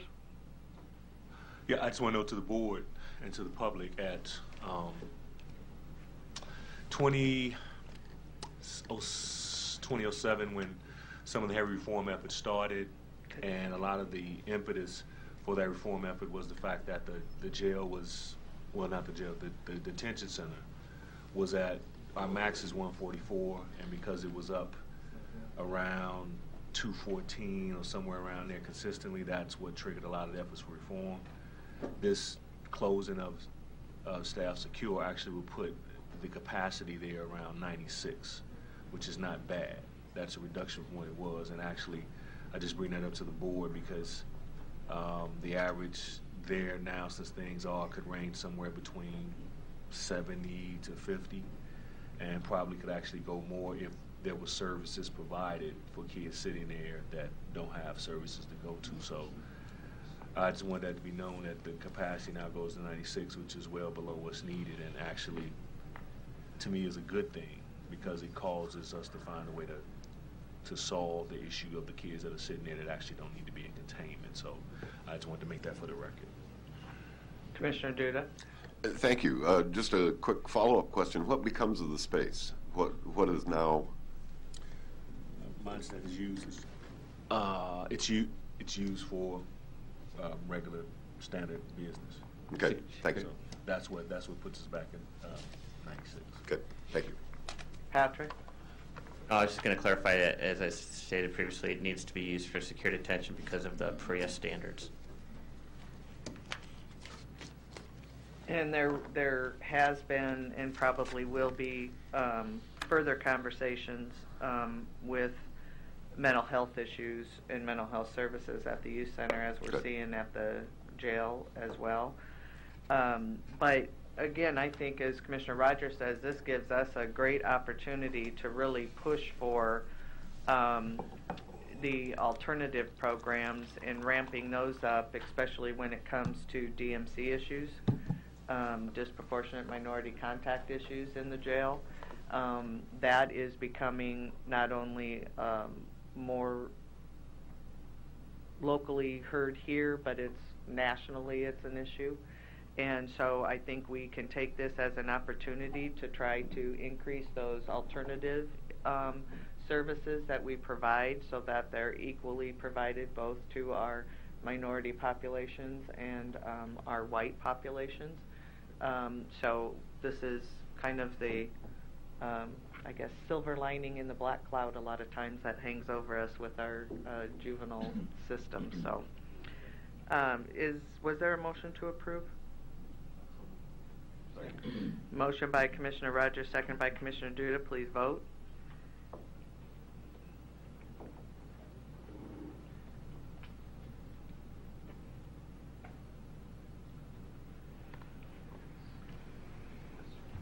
Commissioner Cavanaugh?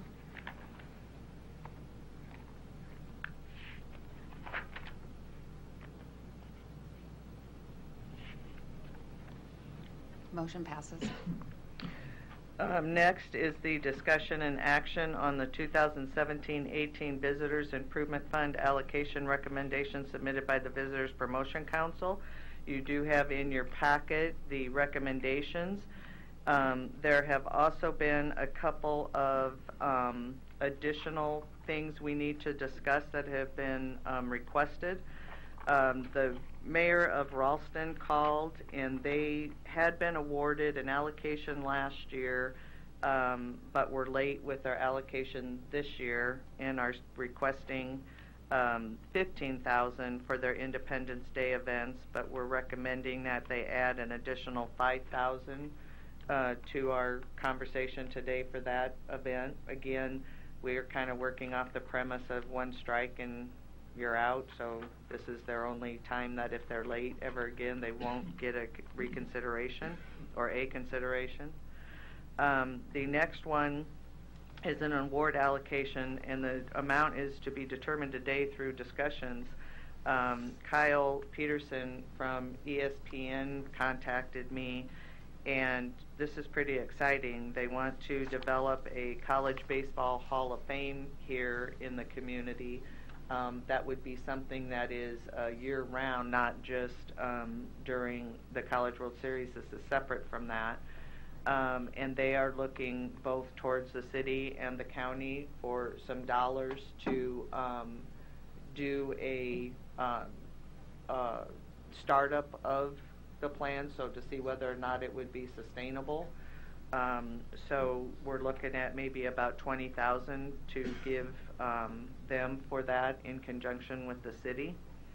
And then the only other one is a change of purpose. This doesn't um, change the amount of dollars at all that we're giving to the Douglas County Fair Association.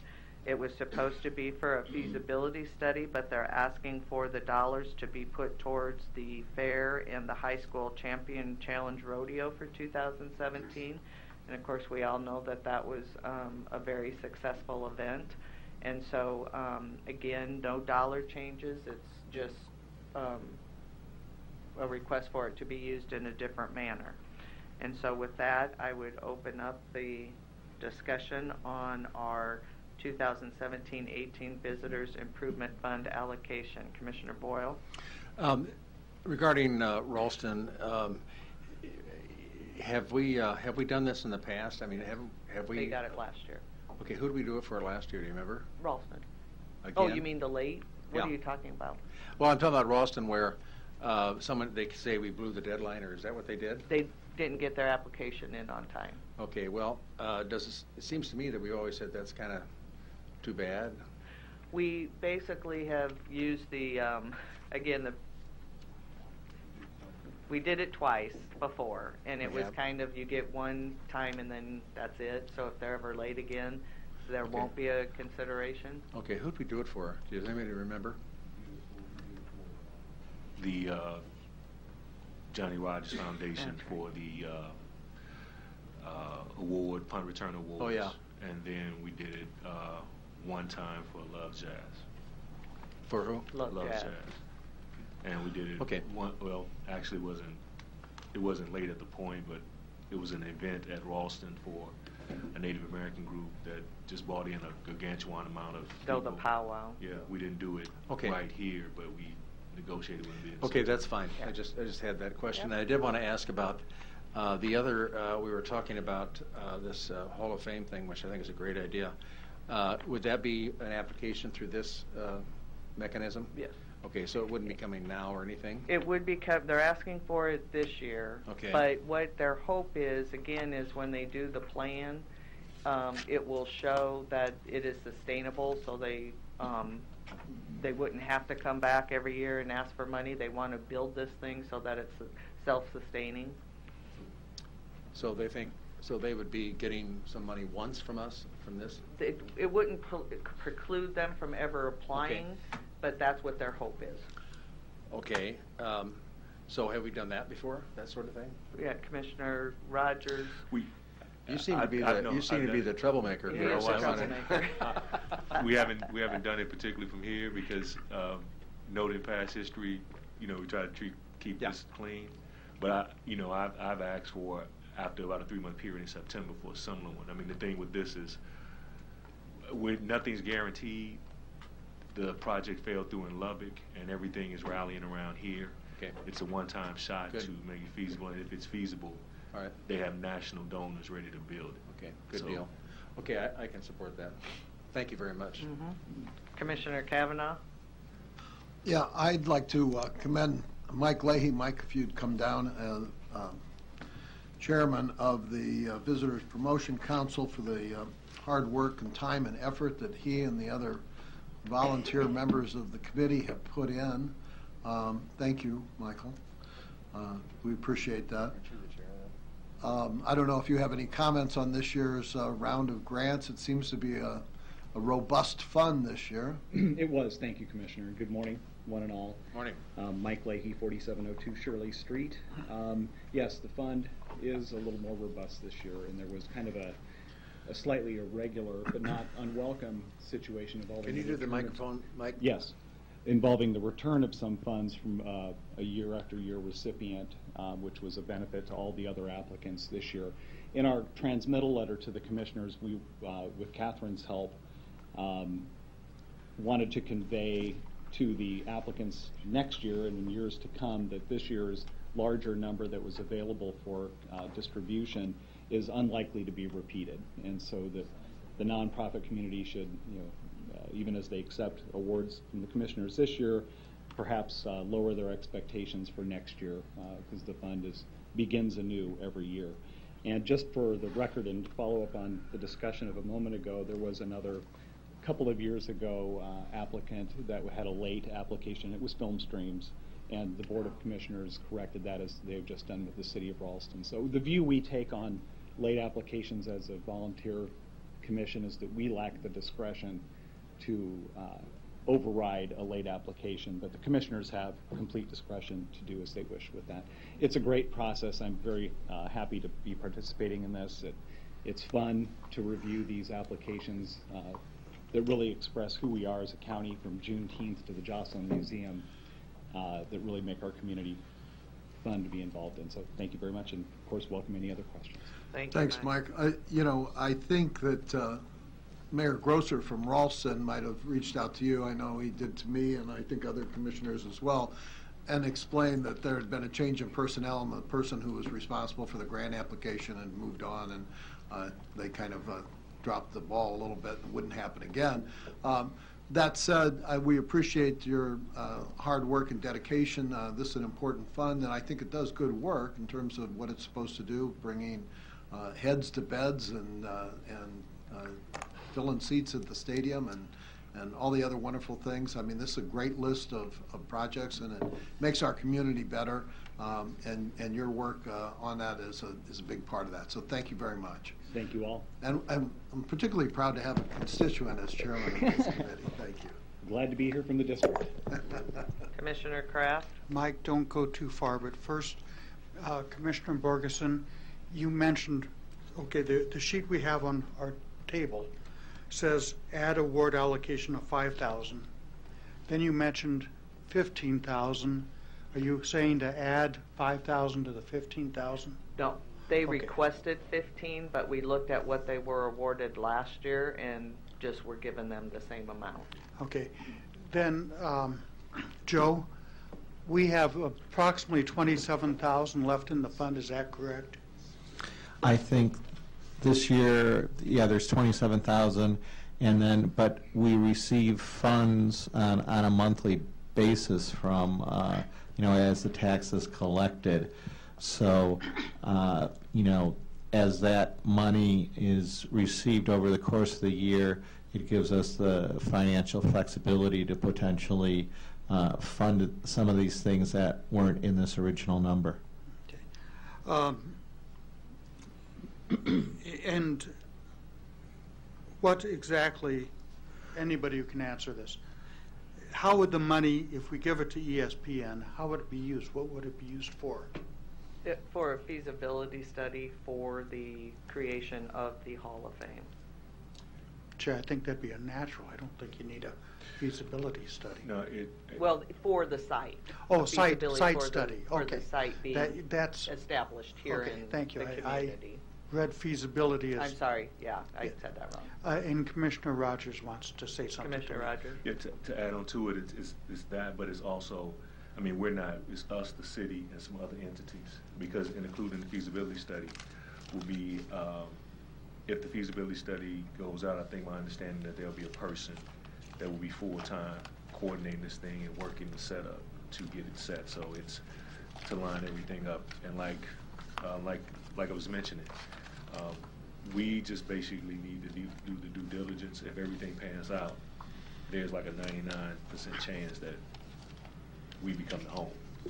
So, and they, and I, I won't say, but they, they do have some places identified that are good. Right. And and Mike, as Chair of the Community Service Committee, thank you very much. Um, I tried not to butt in this year. I know that's appreciated, uh, at least at your level. Uh, What do you feel about the three different items we have? The uh, Ralston, the allocation to ESPN, and the change. I do believe the change is necessary for the Fair Board because a feasibility study for location compared to putting on the high school rodeo and the fair, there's no comparison. But what is your opinion? I, I, I agree, and I guess I'd take the last one first. The Douglas County Fair, you know, has kind of become a bit of an outlier, and so I'm glad the Board of Commissioners is handling that uh, as an individual matter. Uh, As far as the NCAA's request, you know, that's the type of request that as a community body delights us because it's something new. It'll be a new applic- applicant next year, I would presume, and probably for the years to come. It just adds to the visitor attractions and events that uh, the county is able to offer.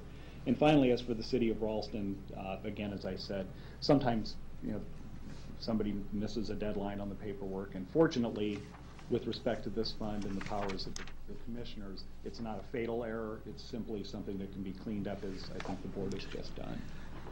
And as far as the purpose of the fund, a major purpose is heads and beds, and to benefit the entire community. Um, The money to Ralston, I love Ralston, I have many, many, many friends and relatives who live there, but I just don't see that bringing any heads and beds. And I would say to that, you know, the sim- similar types of discussions we have with the stakeholders in our public meetings. And there usually is, well, first of all, there is representation on the VPC from the hospitality community. I think the bylaws or the, the rules require at least two members, and so we do have that on a year, on an annual basis. Uh, During recent years, particularly during the, the Great Recession, there was a lot more tension and competition, if you will, for these nonprofit uh, applicants. I think the nonprofits were being squeezed all over the community, not just in this I recall sector. that, yes. Yes. And there was a lot of discussion about that heads and beds economic analysis versus the kind of non-allocable goodwill um, that other funds, you know, for like a Ralston parade, which I, I believe is one of the biggest, if not the largest Fourth of July parade in the state of Nebraska.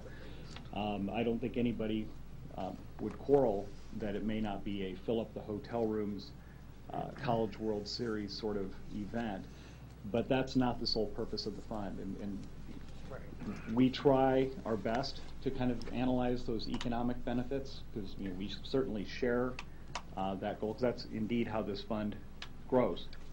And uh, but at the same time balance out you know what I guess I used the word smaller, uh, less economically impactful events that um, while perhaps not on a dollar for dollar basis have I would say an equal goodwill benefit as expressed through the county. Okay, and um, I can see the College Baseball Hall of Fame really bringing tourists in. Um, Nostalgia tourists, baseball tourists, college tourists, a- and uh, perhaps people even staying an extra day at the College World Series. Um, I I can support number two and number three. I just am torn with the one for the Ralston fireworks. Um, And this is for fireworks, correct? It's for their whole Independence Day Does that, does that event. include the parade? Mhm. Yes. Okay, then I can support it.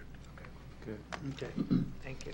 If I could just say one word, I don't mean to interrupt. Yes. about to vote. Go ahead. I forgot to thank Catherine and Karen and the commissioner's staff, uh, along with Kristen Lynch and her colleagues in the county attorney's office for their guidance through this process, making sure our meet, public meetings were noticed properly and that we had our quorums and we're doing everything according to Hoyle.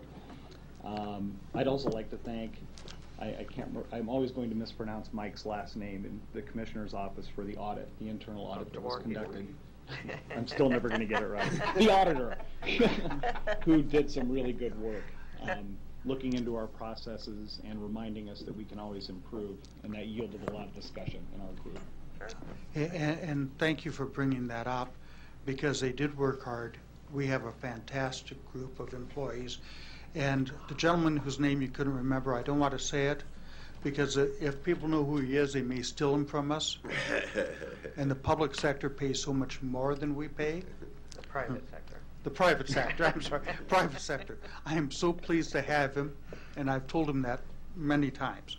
Uh, So with that, um, I will make a motion Okay. for $5,000 to the city of Ralston, $20,000 to the College Baseball Hall of Fame, and the reallocation of the funds for the, for the um, Douglas County Fair Association. And that's just adding those, your motion is for the overall. Right, yes. um, Agenda item and adding those to it. Correct. Um, Commi- uh, Catherine?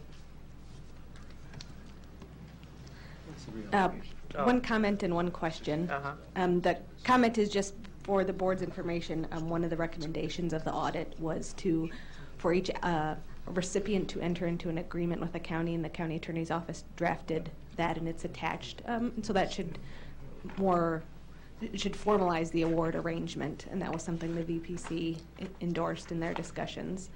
Um, And the second question is just seeking a little bit of clarity about the um, Baseball Hall of Fame request. Is the applicant organization, um, is that ESPN or? It'd have to be a not-for-profit. Right, the reason I ask is the statute requires that um, applicants Just a second. Must be, or recipients must be either a nonprofit organization or an organization owned by the public. I suggest that, that we lay that over.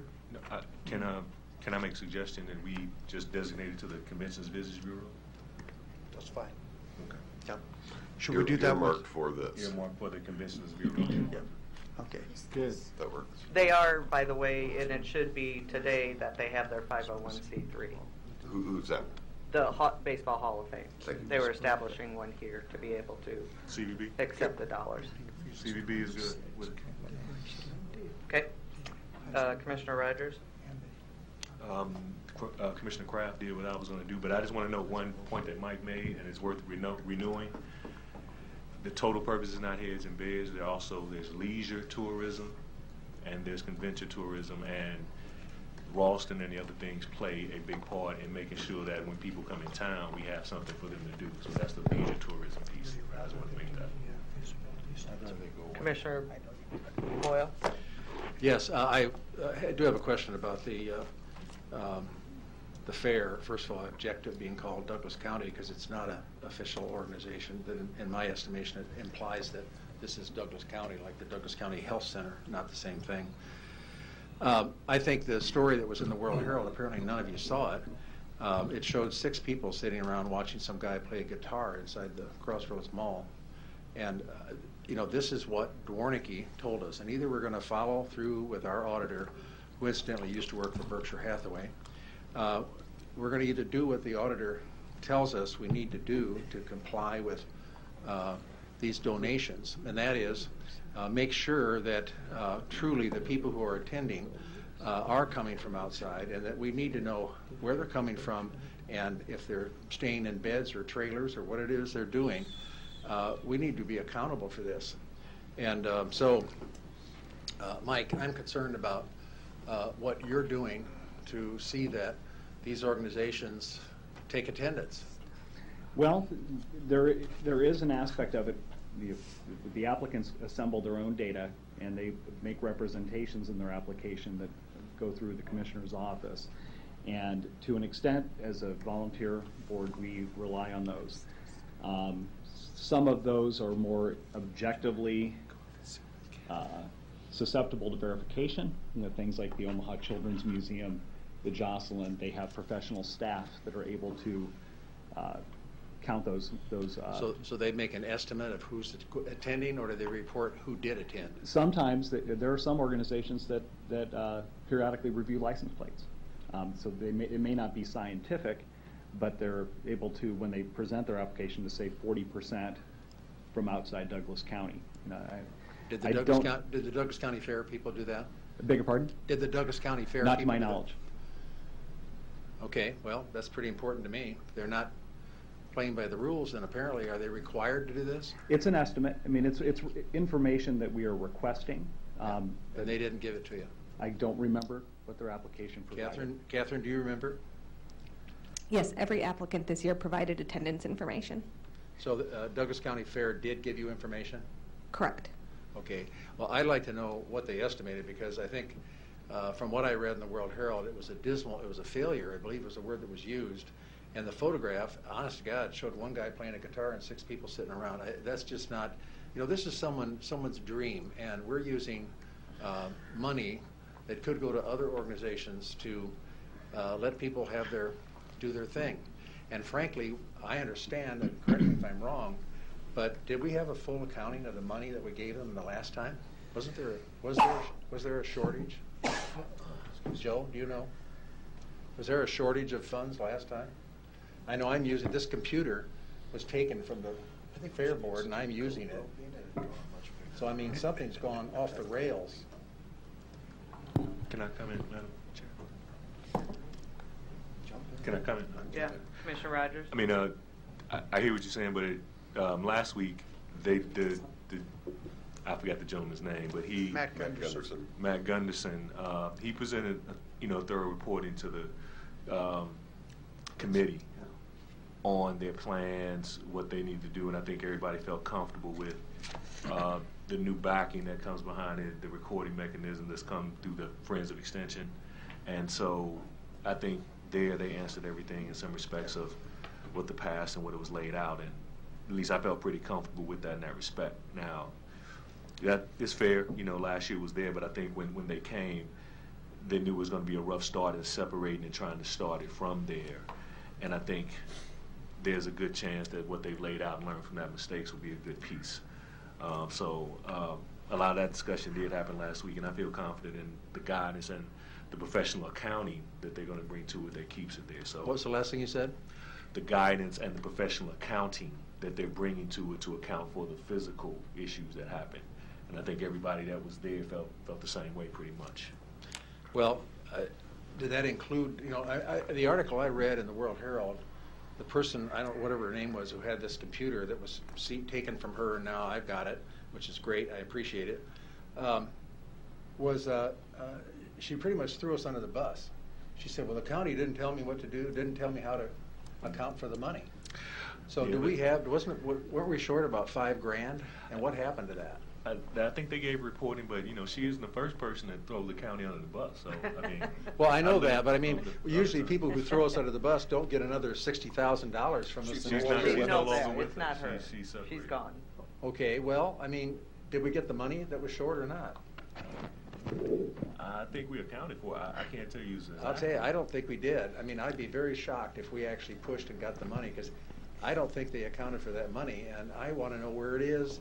It's, uh, in my view, it's not tax dollars necessarily, but it was, this is part of, uh, I guess, produced by taxes uh, uh, that are charged by people who stay in motels and hotels. So I really object to that. And plus, the other thing is, it just simply is not functioning. And that's why I want the, I want a, a strict attendance taken at that event. Uh, If we have to pay sixty-five thousand dollars to have attendance taken, I'd rather do that. Let them run it by themselves, and let's pay and have somebody in there and find out who is going there. And I, you know, we could ask the World Herald for copies of that article if you haven't seen it, but it was really incredible, unbelievable. And So, Commissioner Boyle, can I just say that I, I understand where you're coming from with this, but I think we have to, this is again kind of a startup, if you will. We're starting from scratch, and we have some good people that are, um, again, I think, trying as best as they can, and we actually got a couple more good board members um, that have joined it, that I think if we give it a couple more years to try to really um, establish itself and take off, it's not going to be at Crossroads this year. It's going to be out at Chance Ridge, and so um, again, I think that we just need to give them a little bit more time to reestablish themselves, and I think you'll see it um, come to fruition a little better than it had the last year. well, I, I don't, I don't mean to be as argumentative as I sound, but I think this is their third, this is their third year, whoever they are. And it has been a dismal failure. Uh, They have squandered the funds uh, that they were given, and they didn't account for them. I think they're short money. So I am opposed to giving anyone any money for something called the Douglas County Fair, which is not the Douglas County Fair. It's uh, whoever it is, Joe Doakes Fair, because it's private. It's not us. And I think it, we're, u- we're lending, lending our name to an organization that is not uh, us. That bothers me, number one, and I'm going to ask the legal counsel to talk to us about that sometime soon. The other is, the turnout is not adequate for this kind of money. And I will ask, I will go down and personally buy back issues if they're available from the World Herald and see that each one of you gets a copy of that because it is a, a scathing article on the failure of that organization and they should not be getting money. If they want to do this, go out and collect money themselves. Go see if there's such support for this, get the money and come in and, and maybe we could match it or do something. But I, I wouldn't even want to do that. But I am demanding that there be a full uh, census of who attends in light of the fact that they still haven't paid us back the money, I don't believe. And secondly, because it's a track record of no one attending. I, I want to, I want proof that people are coming to that event. I really do, and from where, and if they're sleeping in trailers or hotels or what it is they're doing. So uh, that bothers me quite a bit, and um, I, I, obviously I've said it all, but I, I am going to demand that, uh, Mike, we can't tell you, you're a volunteer, but who is going to take the census out there to, to show that there is, that they've earned the money? Who's going to do that? Nobody. Mike, Which I of the think we, three okay, functions? just a minute. Mike, we, we have heard that that's what you want. Okay. And we will work with the fair All right. to make sure that they again provide their, their uh, attendance. Well, I want something that's more neutral because last time it was fantasy. Okay. I'll, I'll work on Thank you. that. Thank you, Commissioner. Yep. Commissioner Cavanaugh? Uh, Thanks. Um, Mike, again, thank you for all the hard work that uh, you and the committee members do. Um, I- I'm the newest person on here, so uh, this is a learning curve for me, but it seems that you guys do all the heavy lifting. And we're here to, you know, say, well, thank you, and uh, moving on. Um, I don't know, Mike, if, if we want to go through each one of these grants um, individually, but if we did, I guess we could do away with the committee and entertain the individual grants as individual commissioners. I think it was done that way at one time. I think you told me that. Uh, And um, if that's, if that's where you want to go with this, I mean, I, I, I guess we could do it that way. But I appreciate what you guys do because it alleviates this discussion on each and every single uh, grant application. I think we all have our favorites. Um, I particularly want to invite uh, Commissioner Kraft to the Ralston uh, Fourth of July Parade, the largest Fourth of July parade in the state of Nebraska. Uh, And there are, I don't know, close to 100,000 people in attendance. Uh, It's packed.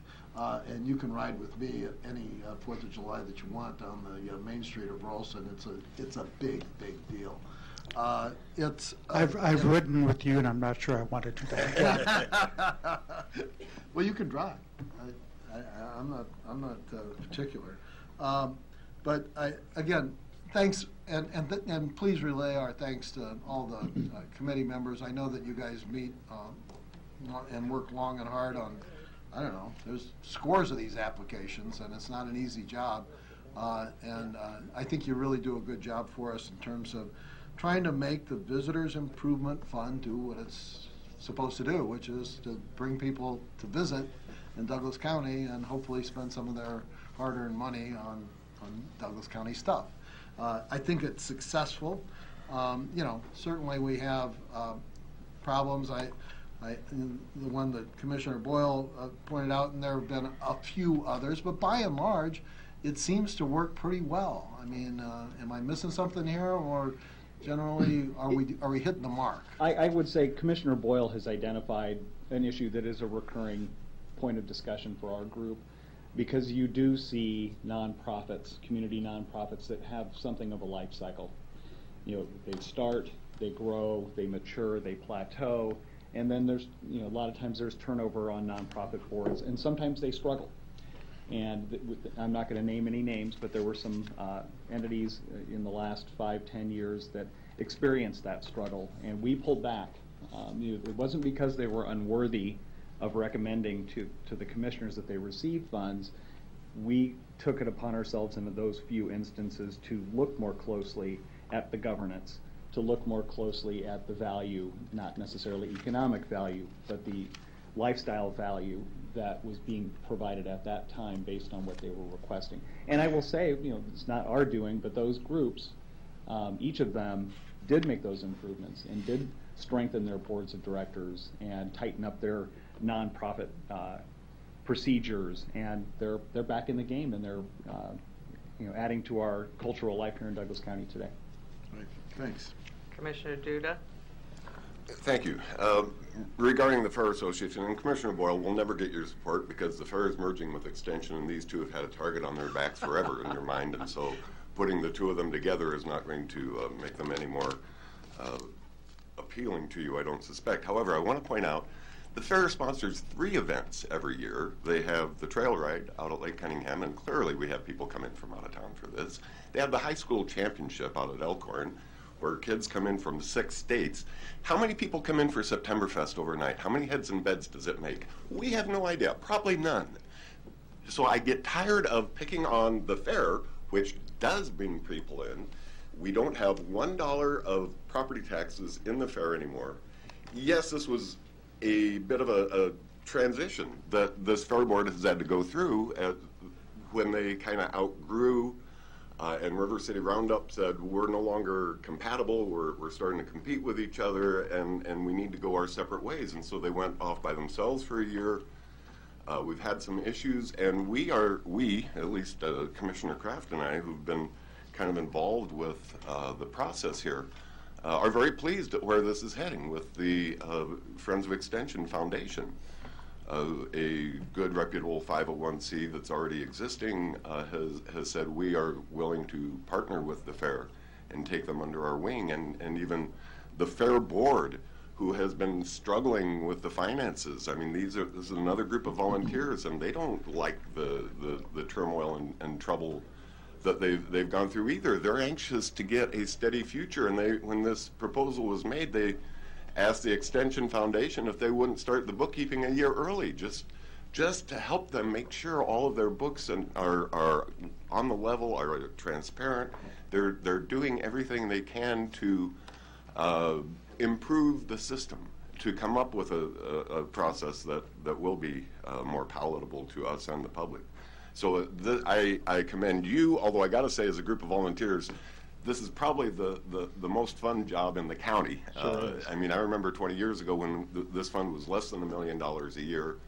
Uh, now we're up over $4 million a year that you get to allocate. So, yes, I appreciate what you do, but it's also kind of a fun job to, I think, get to make those recommendations. The Fair, the Fair Board is another group of volunteers, and their job is not as much fun. They do a lot of work on our behalf, and I appreciate what they do. I appreciate the Extension Foundation stepping forward and saying we think there may be an opportunity for us to help right the ship. We'll work w- together and do what we can to uh, uh, improve the system. Uh, I feel very good about where it is going, uh, and and if we want to start beating them up because they aren't making enough heads and beds, then let's do it to every organization, not single them out. They do bring people in. Thank you. Commissioner Kraft? Yes. uh, Matt Gunderson, could you come to the mic, please? Thank you, Commissioners. I was doing a pretty good job of it, too. Good Uh, Commissioners. Since Commissioner Boyle mi- missed the meeting where you did your presentation, I had to work. would you, would- would you do a quick presentation Sure. for him? And Commissioner Boyle, um, member of the uh, County Commission, Matt Gunderson, uh, Chairman of the Extension Foundation, and as of 30 days ago, the new recently elected Treasurer of the Douglas County Fair Foundation. Um, Commissioner Boyle, uh, you are correct in that report in the World Herald, of which I have a copy that I carry with me of that article, as well as accounting of the full uh, audit provided by the Douglas County Auditor to um, what happened during the transitional phase, I'll call it the transitional phase anyway, of the Douglas County Fair, transitioning out of the Knights of Ak-Sar-Ben Foundation to a standalone organization. And, and, and I agree, it was not um, ran correctly. Uh, the audit did a good job of bringing uh, those uh, inaccuracies and things to light, and it's unfortunate that the county um, got thrown underneath the proverbial bus, if you will, um, within the article uh, for things as it comes about. Uh, as Commissioner Duda has talked about, the, the county fair board um, has been making attempts to right that ship uh, and make some changes along the way with it. Um, my my background is uh, in um, exhibition fair planning, formerly been at the Knights of Ak-Sar-Ben Foundation and running River City Rodeo and Stock Show, and the Douglas County Fair when it was a portion of that. And so uh, I was extremely concerned as well uh, when that report came out about what that looked like for the fair, the future accounting of the fair, and some things. I think the fair can move forward and meet the needs of Douglas County and the 262 fund from several aspects. It can bring in um, visitors from out of town. It can also, as Commissioner Rodgers has talked about, support members and the constituents of Douglas County in putting that together. Uh, it has a ways to go to make that happen, accountability of attendance and budgeting and other things to be able to make that happen. Um, but they're starting to right that ship. The proposal before um, the committee today, tied to the Visitor Improvement Fund VPC Council, um, i- i- is a step, and I'm going to call it a step in that direction of putting on an event for 17 with much larger plans for 2018. Um, we have made a proposal um, as the Extension Foundation, I as the chair, uh, to the Douglas County Fair Board, uh, as well as last week's Community Services Committee to, I'm going to term it as revamp and overhaul the Douglas County Fair starting in 2018 um, with more of a fair campus style concept with expanded roles and activities and events that not only can benefit the constituents of Douglas County as part of the 262 pro, uh, requirements, but also bring in visitors from out of town who are staying in hotels, motels, heads and beds, if you will, to attract that to give back to the fund that is helping fund that fair. Unfortunately, all of this is not going to happen overnight. It's going to take some steps and process to be able to make uh, this happen. Um, the, the Fair um, Board, I am the newly elected treasurer of the Fair Foundation. Um, that's what happens when you show up to a meeting to make a proposal to join.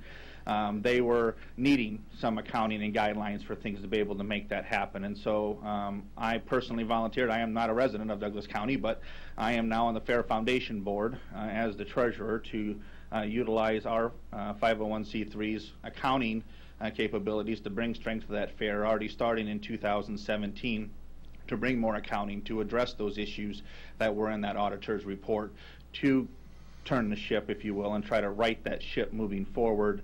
Uh, it's not going to happen overnight. It's going to be a multi-year process to be able to make that happen. Where the unfortunate uh, fair arrived at uh, post-2016 event, early 2017, took a while to get there, and it's going to take a little while to be able to get that um, corrected uh, along the way with things. But um, it is an opportunity, I think, to uh, benefit and really fit the exact criteria uh, of, of what um, the 262 fund sits and appreciates for. Along with that, though, um, the allocation, reallocation of funds today comes to the point of it doesn't do a darn bit of good to have a feasibility study on a site if you can't have the fair. And so it- it's not something that we want to be able to fund in a feasibility study for fairgrounds. That's Matt pers- speaking personally. Um, there's plenty of other spaces in town to be able to do this, not to build a fairgrounds, not to have the counties in the building business, and you talk about it at all your meetings about the building business. The fair doesn't need to be, in Matt's personal opinion, in the building business. But what it needs to do is put on a, a, a world-class fair for the constituents of Douglas County that brings in outside visitors in locations that already exist. This funds help to be able to put on a, an event for 2017 with a longer-term goal of righting that ship and, and making it a more expansive role uh, starting in 2018 and beyond. Okay, Matt, thank you. What- What is a little bit of your history with fairs? Sure. Um, so, uh, my history, I guess, uh, personal history with fairs. I grew up in South Dakota, southeast part of South Dakota. I was 4-H livestock superintendent in college at the South Dakota State Fair, and went on to be become uh, the youth 4-H and youth horse livestock specialist for South Dakota 4-H, overseeing 5,000 animals and 4,000 families at the South Dakota State Fair for the 4-H division. Uh, went on to become head of 4-H activities and events uh, at the Nevada Cooperative Extension in Reno, and then from there uh, spent nine events, uh, 10 years at the Knights of Ak-Sar-Ben Foundation, uh, helping raise funds and put on the, uh, at that time, Ak-Sar-Ben's River City Roundup morphed into Ak-Sar-Ben's River City Rodeo and Stock Show, which also included the Douglas County Fair. And so you have experience in fundraising, Yes. considerable experience from what I know. The other thing is you have a position of authority with a very large corporation, do you not? Yes. Okay. If, if you want to talk about it, you can. If you don't, you don't have to. Uh, that, that's all I have for you at the moment, at least. And, and I'm going to make a request to Mike, Commissioner Boyle to stop being an angry old man.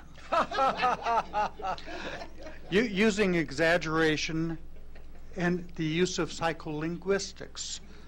Uh, you know, $5,000, it was not $5,000. The amount of discrepancy was $600, and it was, could be attributed to sloppy bookkeeping. We cannot prove anything. The other thing is, um, it would cost us more to go after the $600 than we would recuper. Now, you know you're beating a dead horse. So please don't talk us to death on this item again and again and again and again and again. You've talked us to death on the committee meetings, on the board meetings. Uh, every time the word extension or the county fair comes up, you spend a half an hour of our time collectively. So please, you know, don't talk us to death. I made the request of somebody else. I'm making it of you now. Thank you. Well, I, first of all, I do have to say, I, I have pretty much buried the hatchet with uh, extension. It's something I've come to grips with. It's just like the um, crime lab. It's something that can't be attained. And uh, I, I was, uh, I think, uh, part of the group that got the merger going with Sarpy, which I think has worked well. Um, but uh, I, you know, Commissioner Duda, I always enjoy when you get the microphone when it pertains to me because you, you characterize things that I, I do. I have no motives with uh, extension and uh, the Fair Board. I do object to the use of the name. I do object to the fail, failure to account, and I don't those things. But I don't. I'm not bearing grudges. I don't bear grudges. Life is too short.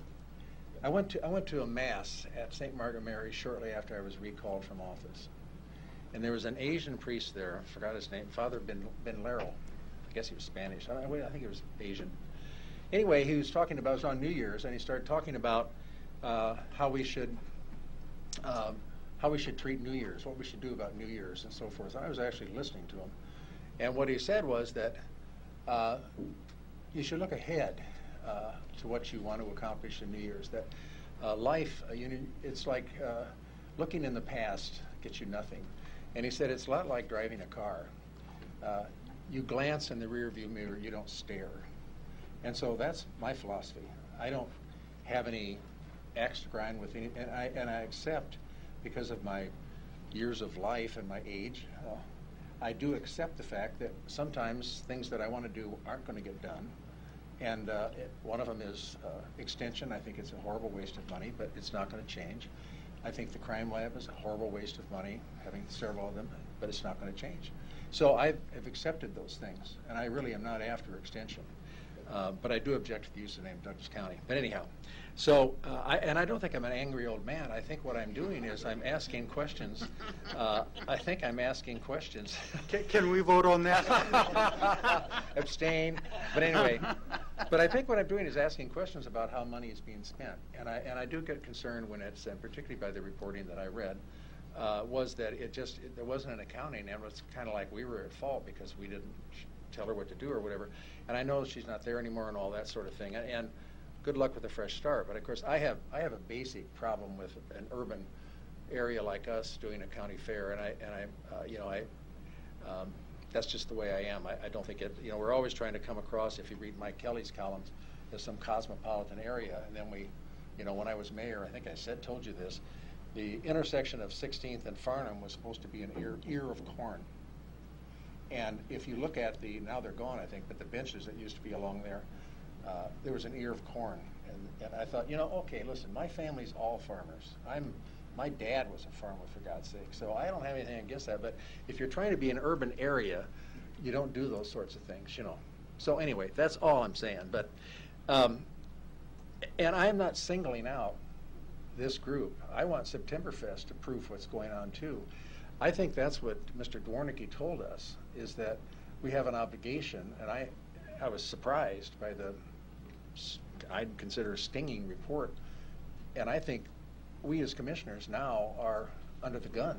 We have to have evidence from these groups from the wrestling group, from the, you know, the Ballet Nebraska, from Bemis, from everybody, we have to have proof that they're having people show up. Because that's what the law says. Unless they say, just give money to any organization, then fine, we can just do whatever we please. So I'm not trying to single anybody out. I think everybody has to account. Um, so, uh, you know, I- and I, and I couldn't make the meeting. I do have to work. I'm not retired. So I still do stuff. And so I have to be places and I can't do all those things. And that's one reason why I'm not too happy with the committee report, although I do get excellent reports from the county clerk. So um, I wanted to ask a couple questions. Have you raised private funds for this fair? They, uh, I believe, Commissioner, are in process. I can't speak for the Fair Board because I am not an official representative of the Fair Board. I am on the foundation's perspective of things. I know the Fair Board has been in discussions uh, about raising private funds, not only for the high school rodeo, but for the fair as well. Um, They were um, raising them, if you will, in pencil type of a situation, waiting for today's vote to see if they had the seed money to be able to put on the fair, then to complement with private funded dollars, uh, is my understanding for things. Um, But as I mentioned before, I'm about three weeks into this uh, particular role, so um, I'm getting up to speed myself, sir. Well, and I appreciate your report. Uh, I wish I could have been there uh, for the committee report, but uh, I I can't make all of these reports. It's just, it's a fact of life. But I do get the reports and I read them, uh, particularly from uh, Commissioner Cavanaugh's committee. But let me try to wind this down. Uh, I, um, uh, I want accountability from everybody who gets money. That's what I'm after.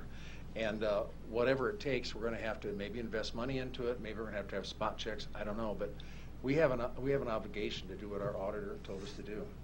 And um, uh, one final thing about Ralston, Ichube's not here, but I took a Statue of Liberty out of our condo one time, and put it in the back of a Cadillac convertible, and it was the coolest thing driving up that big pack up the street. And people were standing up, putting their hands on their hearts as the statue. It was very cool. So Ralston is a place to be, that's for sure. and uh, but uh, uh, let's hope that we can get some accountability, and then we'll be on the right track. And I mean accountability from everybody. And um, I'm sorry I talked so much today, Mark. Commissioner Kraft?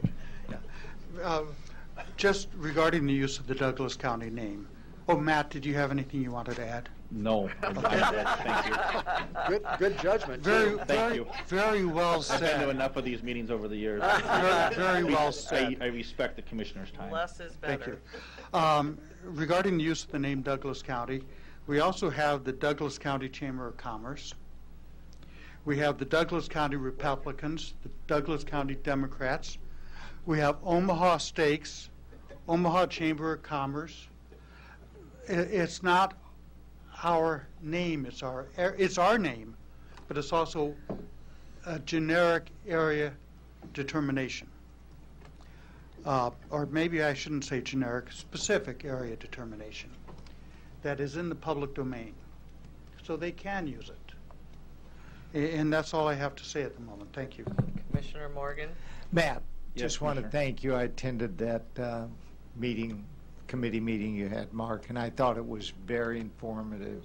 And I also appreciated very much your passion about doing this right. I mean that. I talked to Mark after the meeting, uh, and it was really good. Thank So you. thank you. The, the only um, thing I want to say about the urban versus rural type, we're- they're trying to blend the two from a commissioner who has rural areas still within her district. Um, There's still people that are very proud of the agricultural background that they have and still have today. And so us being able to use um, a venue to um, showcase that and talk about that and be proud of it, um, I'm all for. So blending the two, yes, we're Oh. an urban county, but we're also rural, and ag is a very, very, very critical piece not only of Douglas County but of, of uh, Nebraska as a whole. So um, we need to embrace that as well. So with that, there has been a motion and a second. Um, And Madam Chair, to clarify, the, the money for the College Hall of Fame is, the motion is to earmark it to the OCVB? Yes. Okay. Yes. All right. Thank you. So please vote. Yep. Yeah. Commissioner Rodgers wanted to vote yes, but he's gone and we just changed our rules. so Well, he all right, can't you have vote. to be present. Yes. Commissioner Morgan. Motion passes. Criminal Justice Committee, there are a couple items here. The first amendment of the Medical Director Medical Professional Service Contract. David Slater is here if we have any questions on this. Is there a motion to approve? So move. A motion by Commissioner Boyle, seconded by Commissioner Duda. Please vote.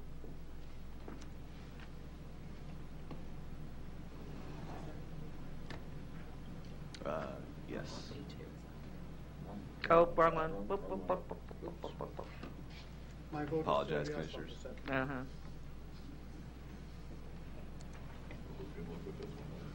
We can just do a roll call on the first one if you want.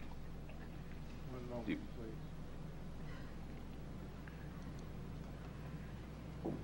Her, Do you want me I to- know, her fingers are, All right. right. Okay. Okay. Thank- Sorry, Commissioners, That's all thank you. right, that's all right. Nothing hurt.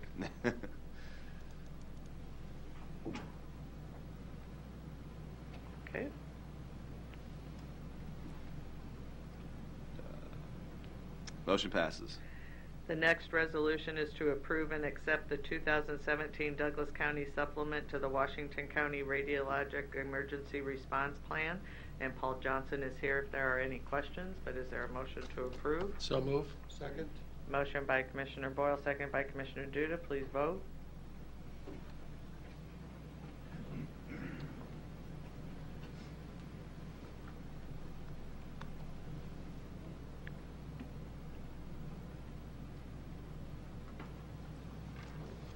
Motion passes. The last one is a resolution to approve and accept the Regional Homeland Security Program Memorandum of Understanding. There is six thousand nine hundred and ninety-six dollars that is budgeted. Paul Johnson is here from, as our emergency manager. If there are any questions, is there a motion to approve? Motion to approve. It's a very small part of the whole budget. Yes. Second. Sixty-nine thousand, six thousand nine hundred ninety-six. Um, motion by Commissioner Boyle, seconded by Commissioner Kraft. Please vote.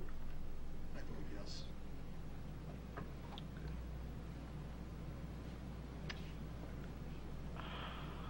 Motion passes. Um, Human Resources, the weekly personnel report from Civil Service as um, presented. Um, Unless there are questions or comments, um, no legislative items um, at this juncture. We do not have an executive session today. Surprise. And so is there a motion to adjourn? I have- Oh, point of privilege. Yes, point of privilege. I have something I want to show you of uh, someone that gave me lessons and uh, direction. I maybe have the picture put up. Chris, you'll like this. Not sure you'll recognize the young man on my left that was giving me instructions of what I should do with my life. He doesn't see it yet. I can't see who that is. It's you. On the left? I can't see it. You want my glasses? So I told him what? I gave you how to. Gave me directions go. and Oh, that right? directed Oh, my you go. All right. future. There we go. I have Must have been been- at a- Whoa, whoa, whoa, whoa. Must have been at a. Boy Scout meeting or something. No, that's, uh, There you go. he was telling me, here's what you should do with your life and so on. And I Yes. was, Speak up for things you believe in. that's right, the fair board. Anyway, I think that's when he was an angry the- young I found, I found that picture quite a while ago, a few months ago, just in some papers, and I thought, I gotta bring it Thanks. there for mine. That's fabulous. That's. Anyway. When was that taken? Where would you guess? You know, uh, It could be back in, uh, I'm thinking it could have been 81, 82. you know the. pen, What do you think? Well, you know, there's a blue pen I think I've got on my on my shirt, and I think I think that was actually during the recall. Loyal to Boyle was what that said. I think. So this was, and PJ uh, was on the uh, supporting me in that recall effort. So I think that may be what it was. I'm not sure. Anyway, I thought you'd enjoy that a little Thanks, that's You cool. were in, uh, Sorry to be so, so uh, blind that I couldn't see it was me. I thought, who is that? All right, thank All you. A right, motion thanks. to adjourn? Motion to adjourn in a second. Thank you all for having Please Morgan here. She was cute. Uh, second by Commissioner Kraft. Thank you. It doesn't? For us, it does. Okay. There you have it. Uh, Commissioner Boyle Did not vote? Commissioner Cavanaugh, sorry. Cavanaugh's not here. There he is. Motion passes.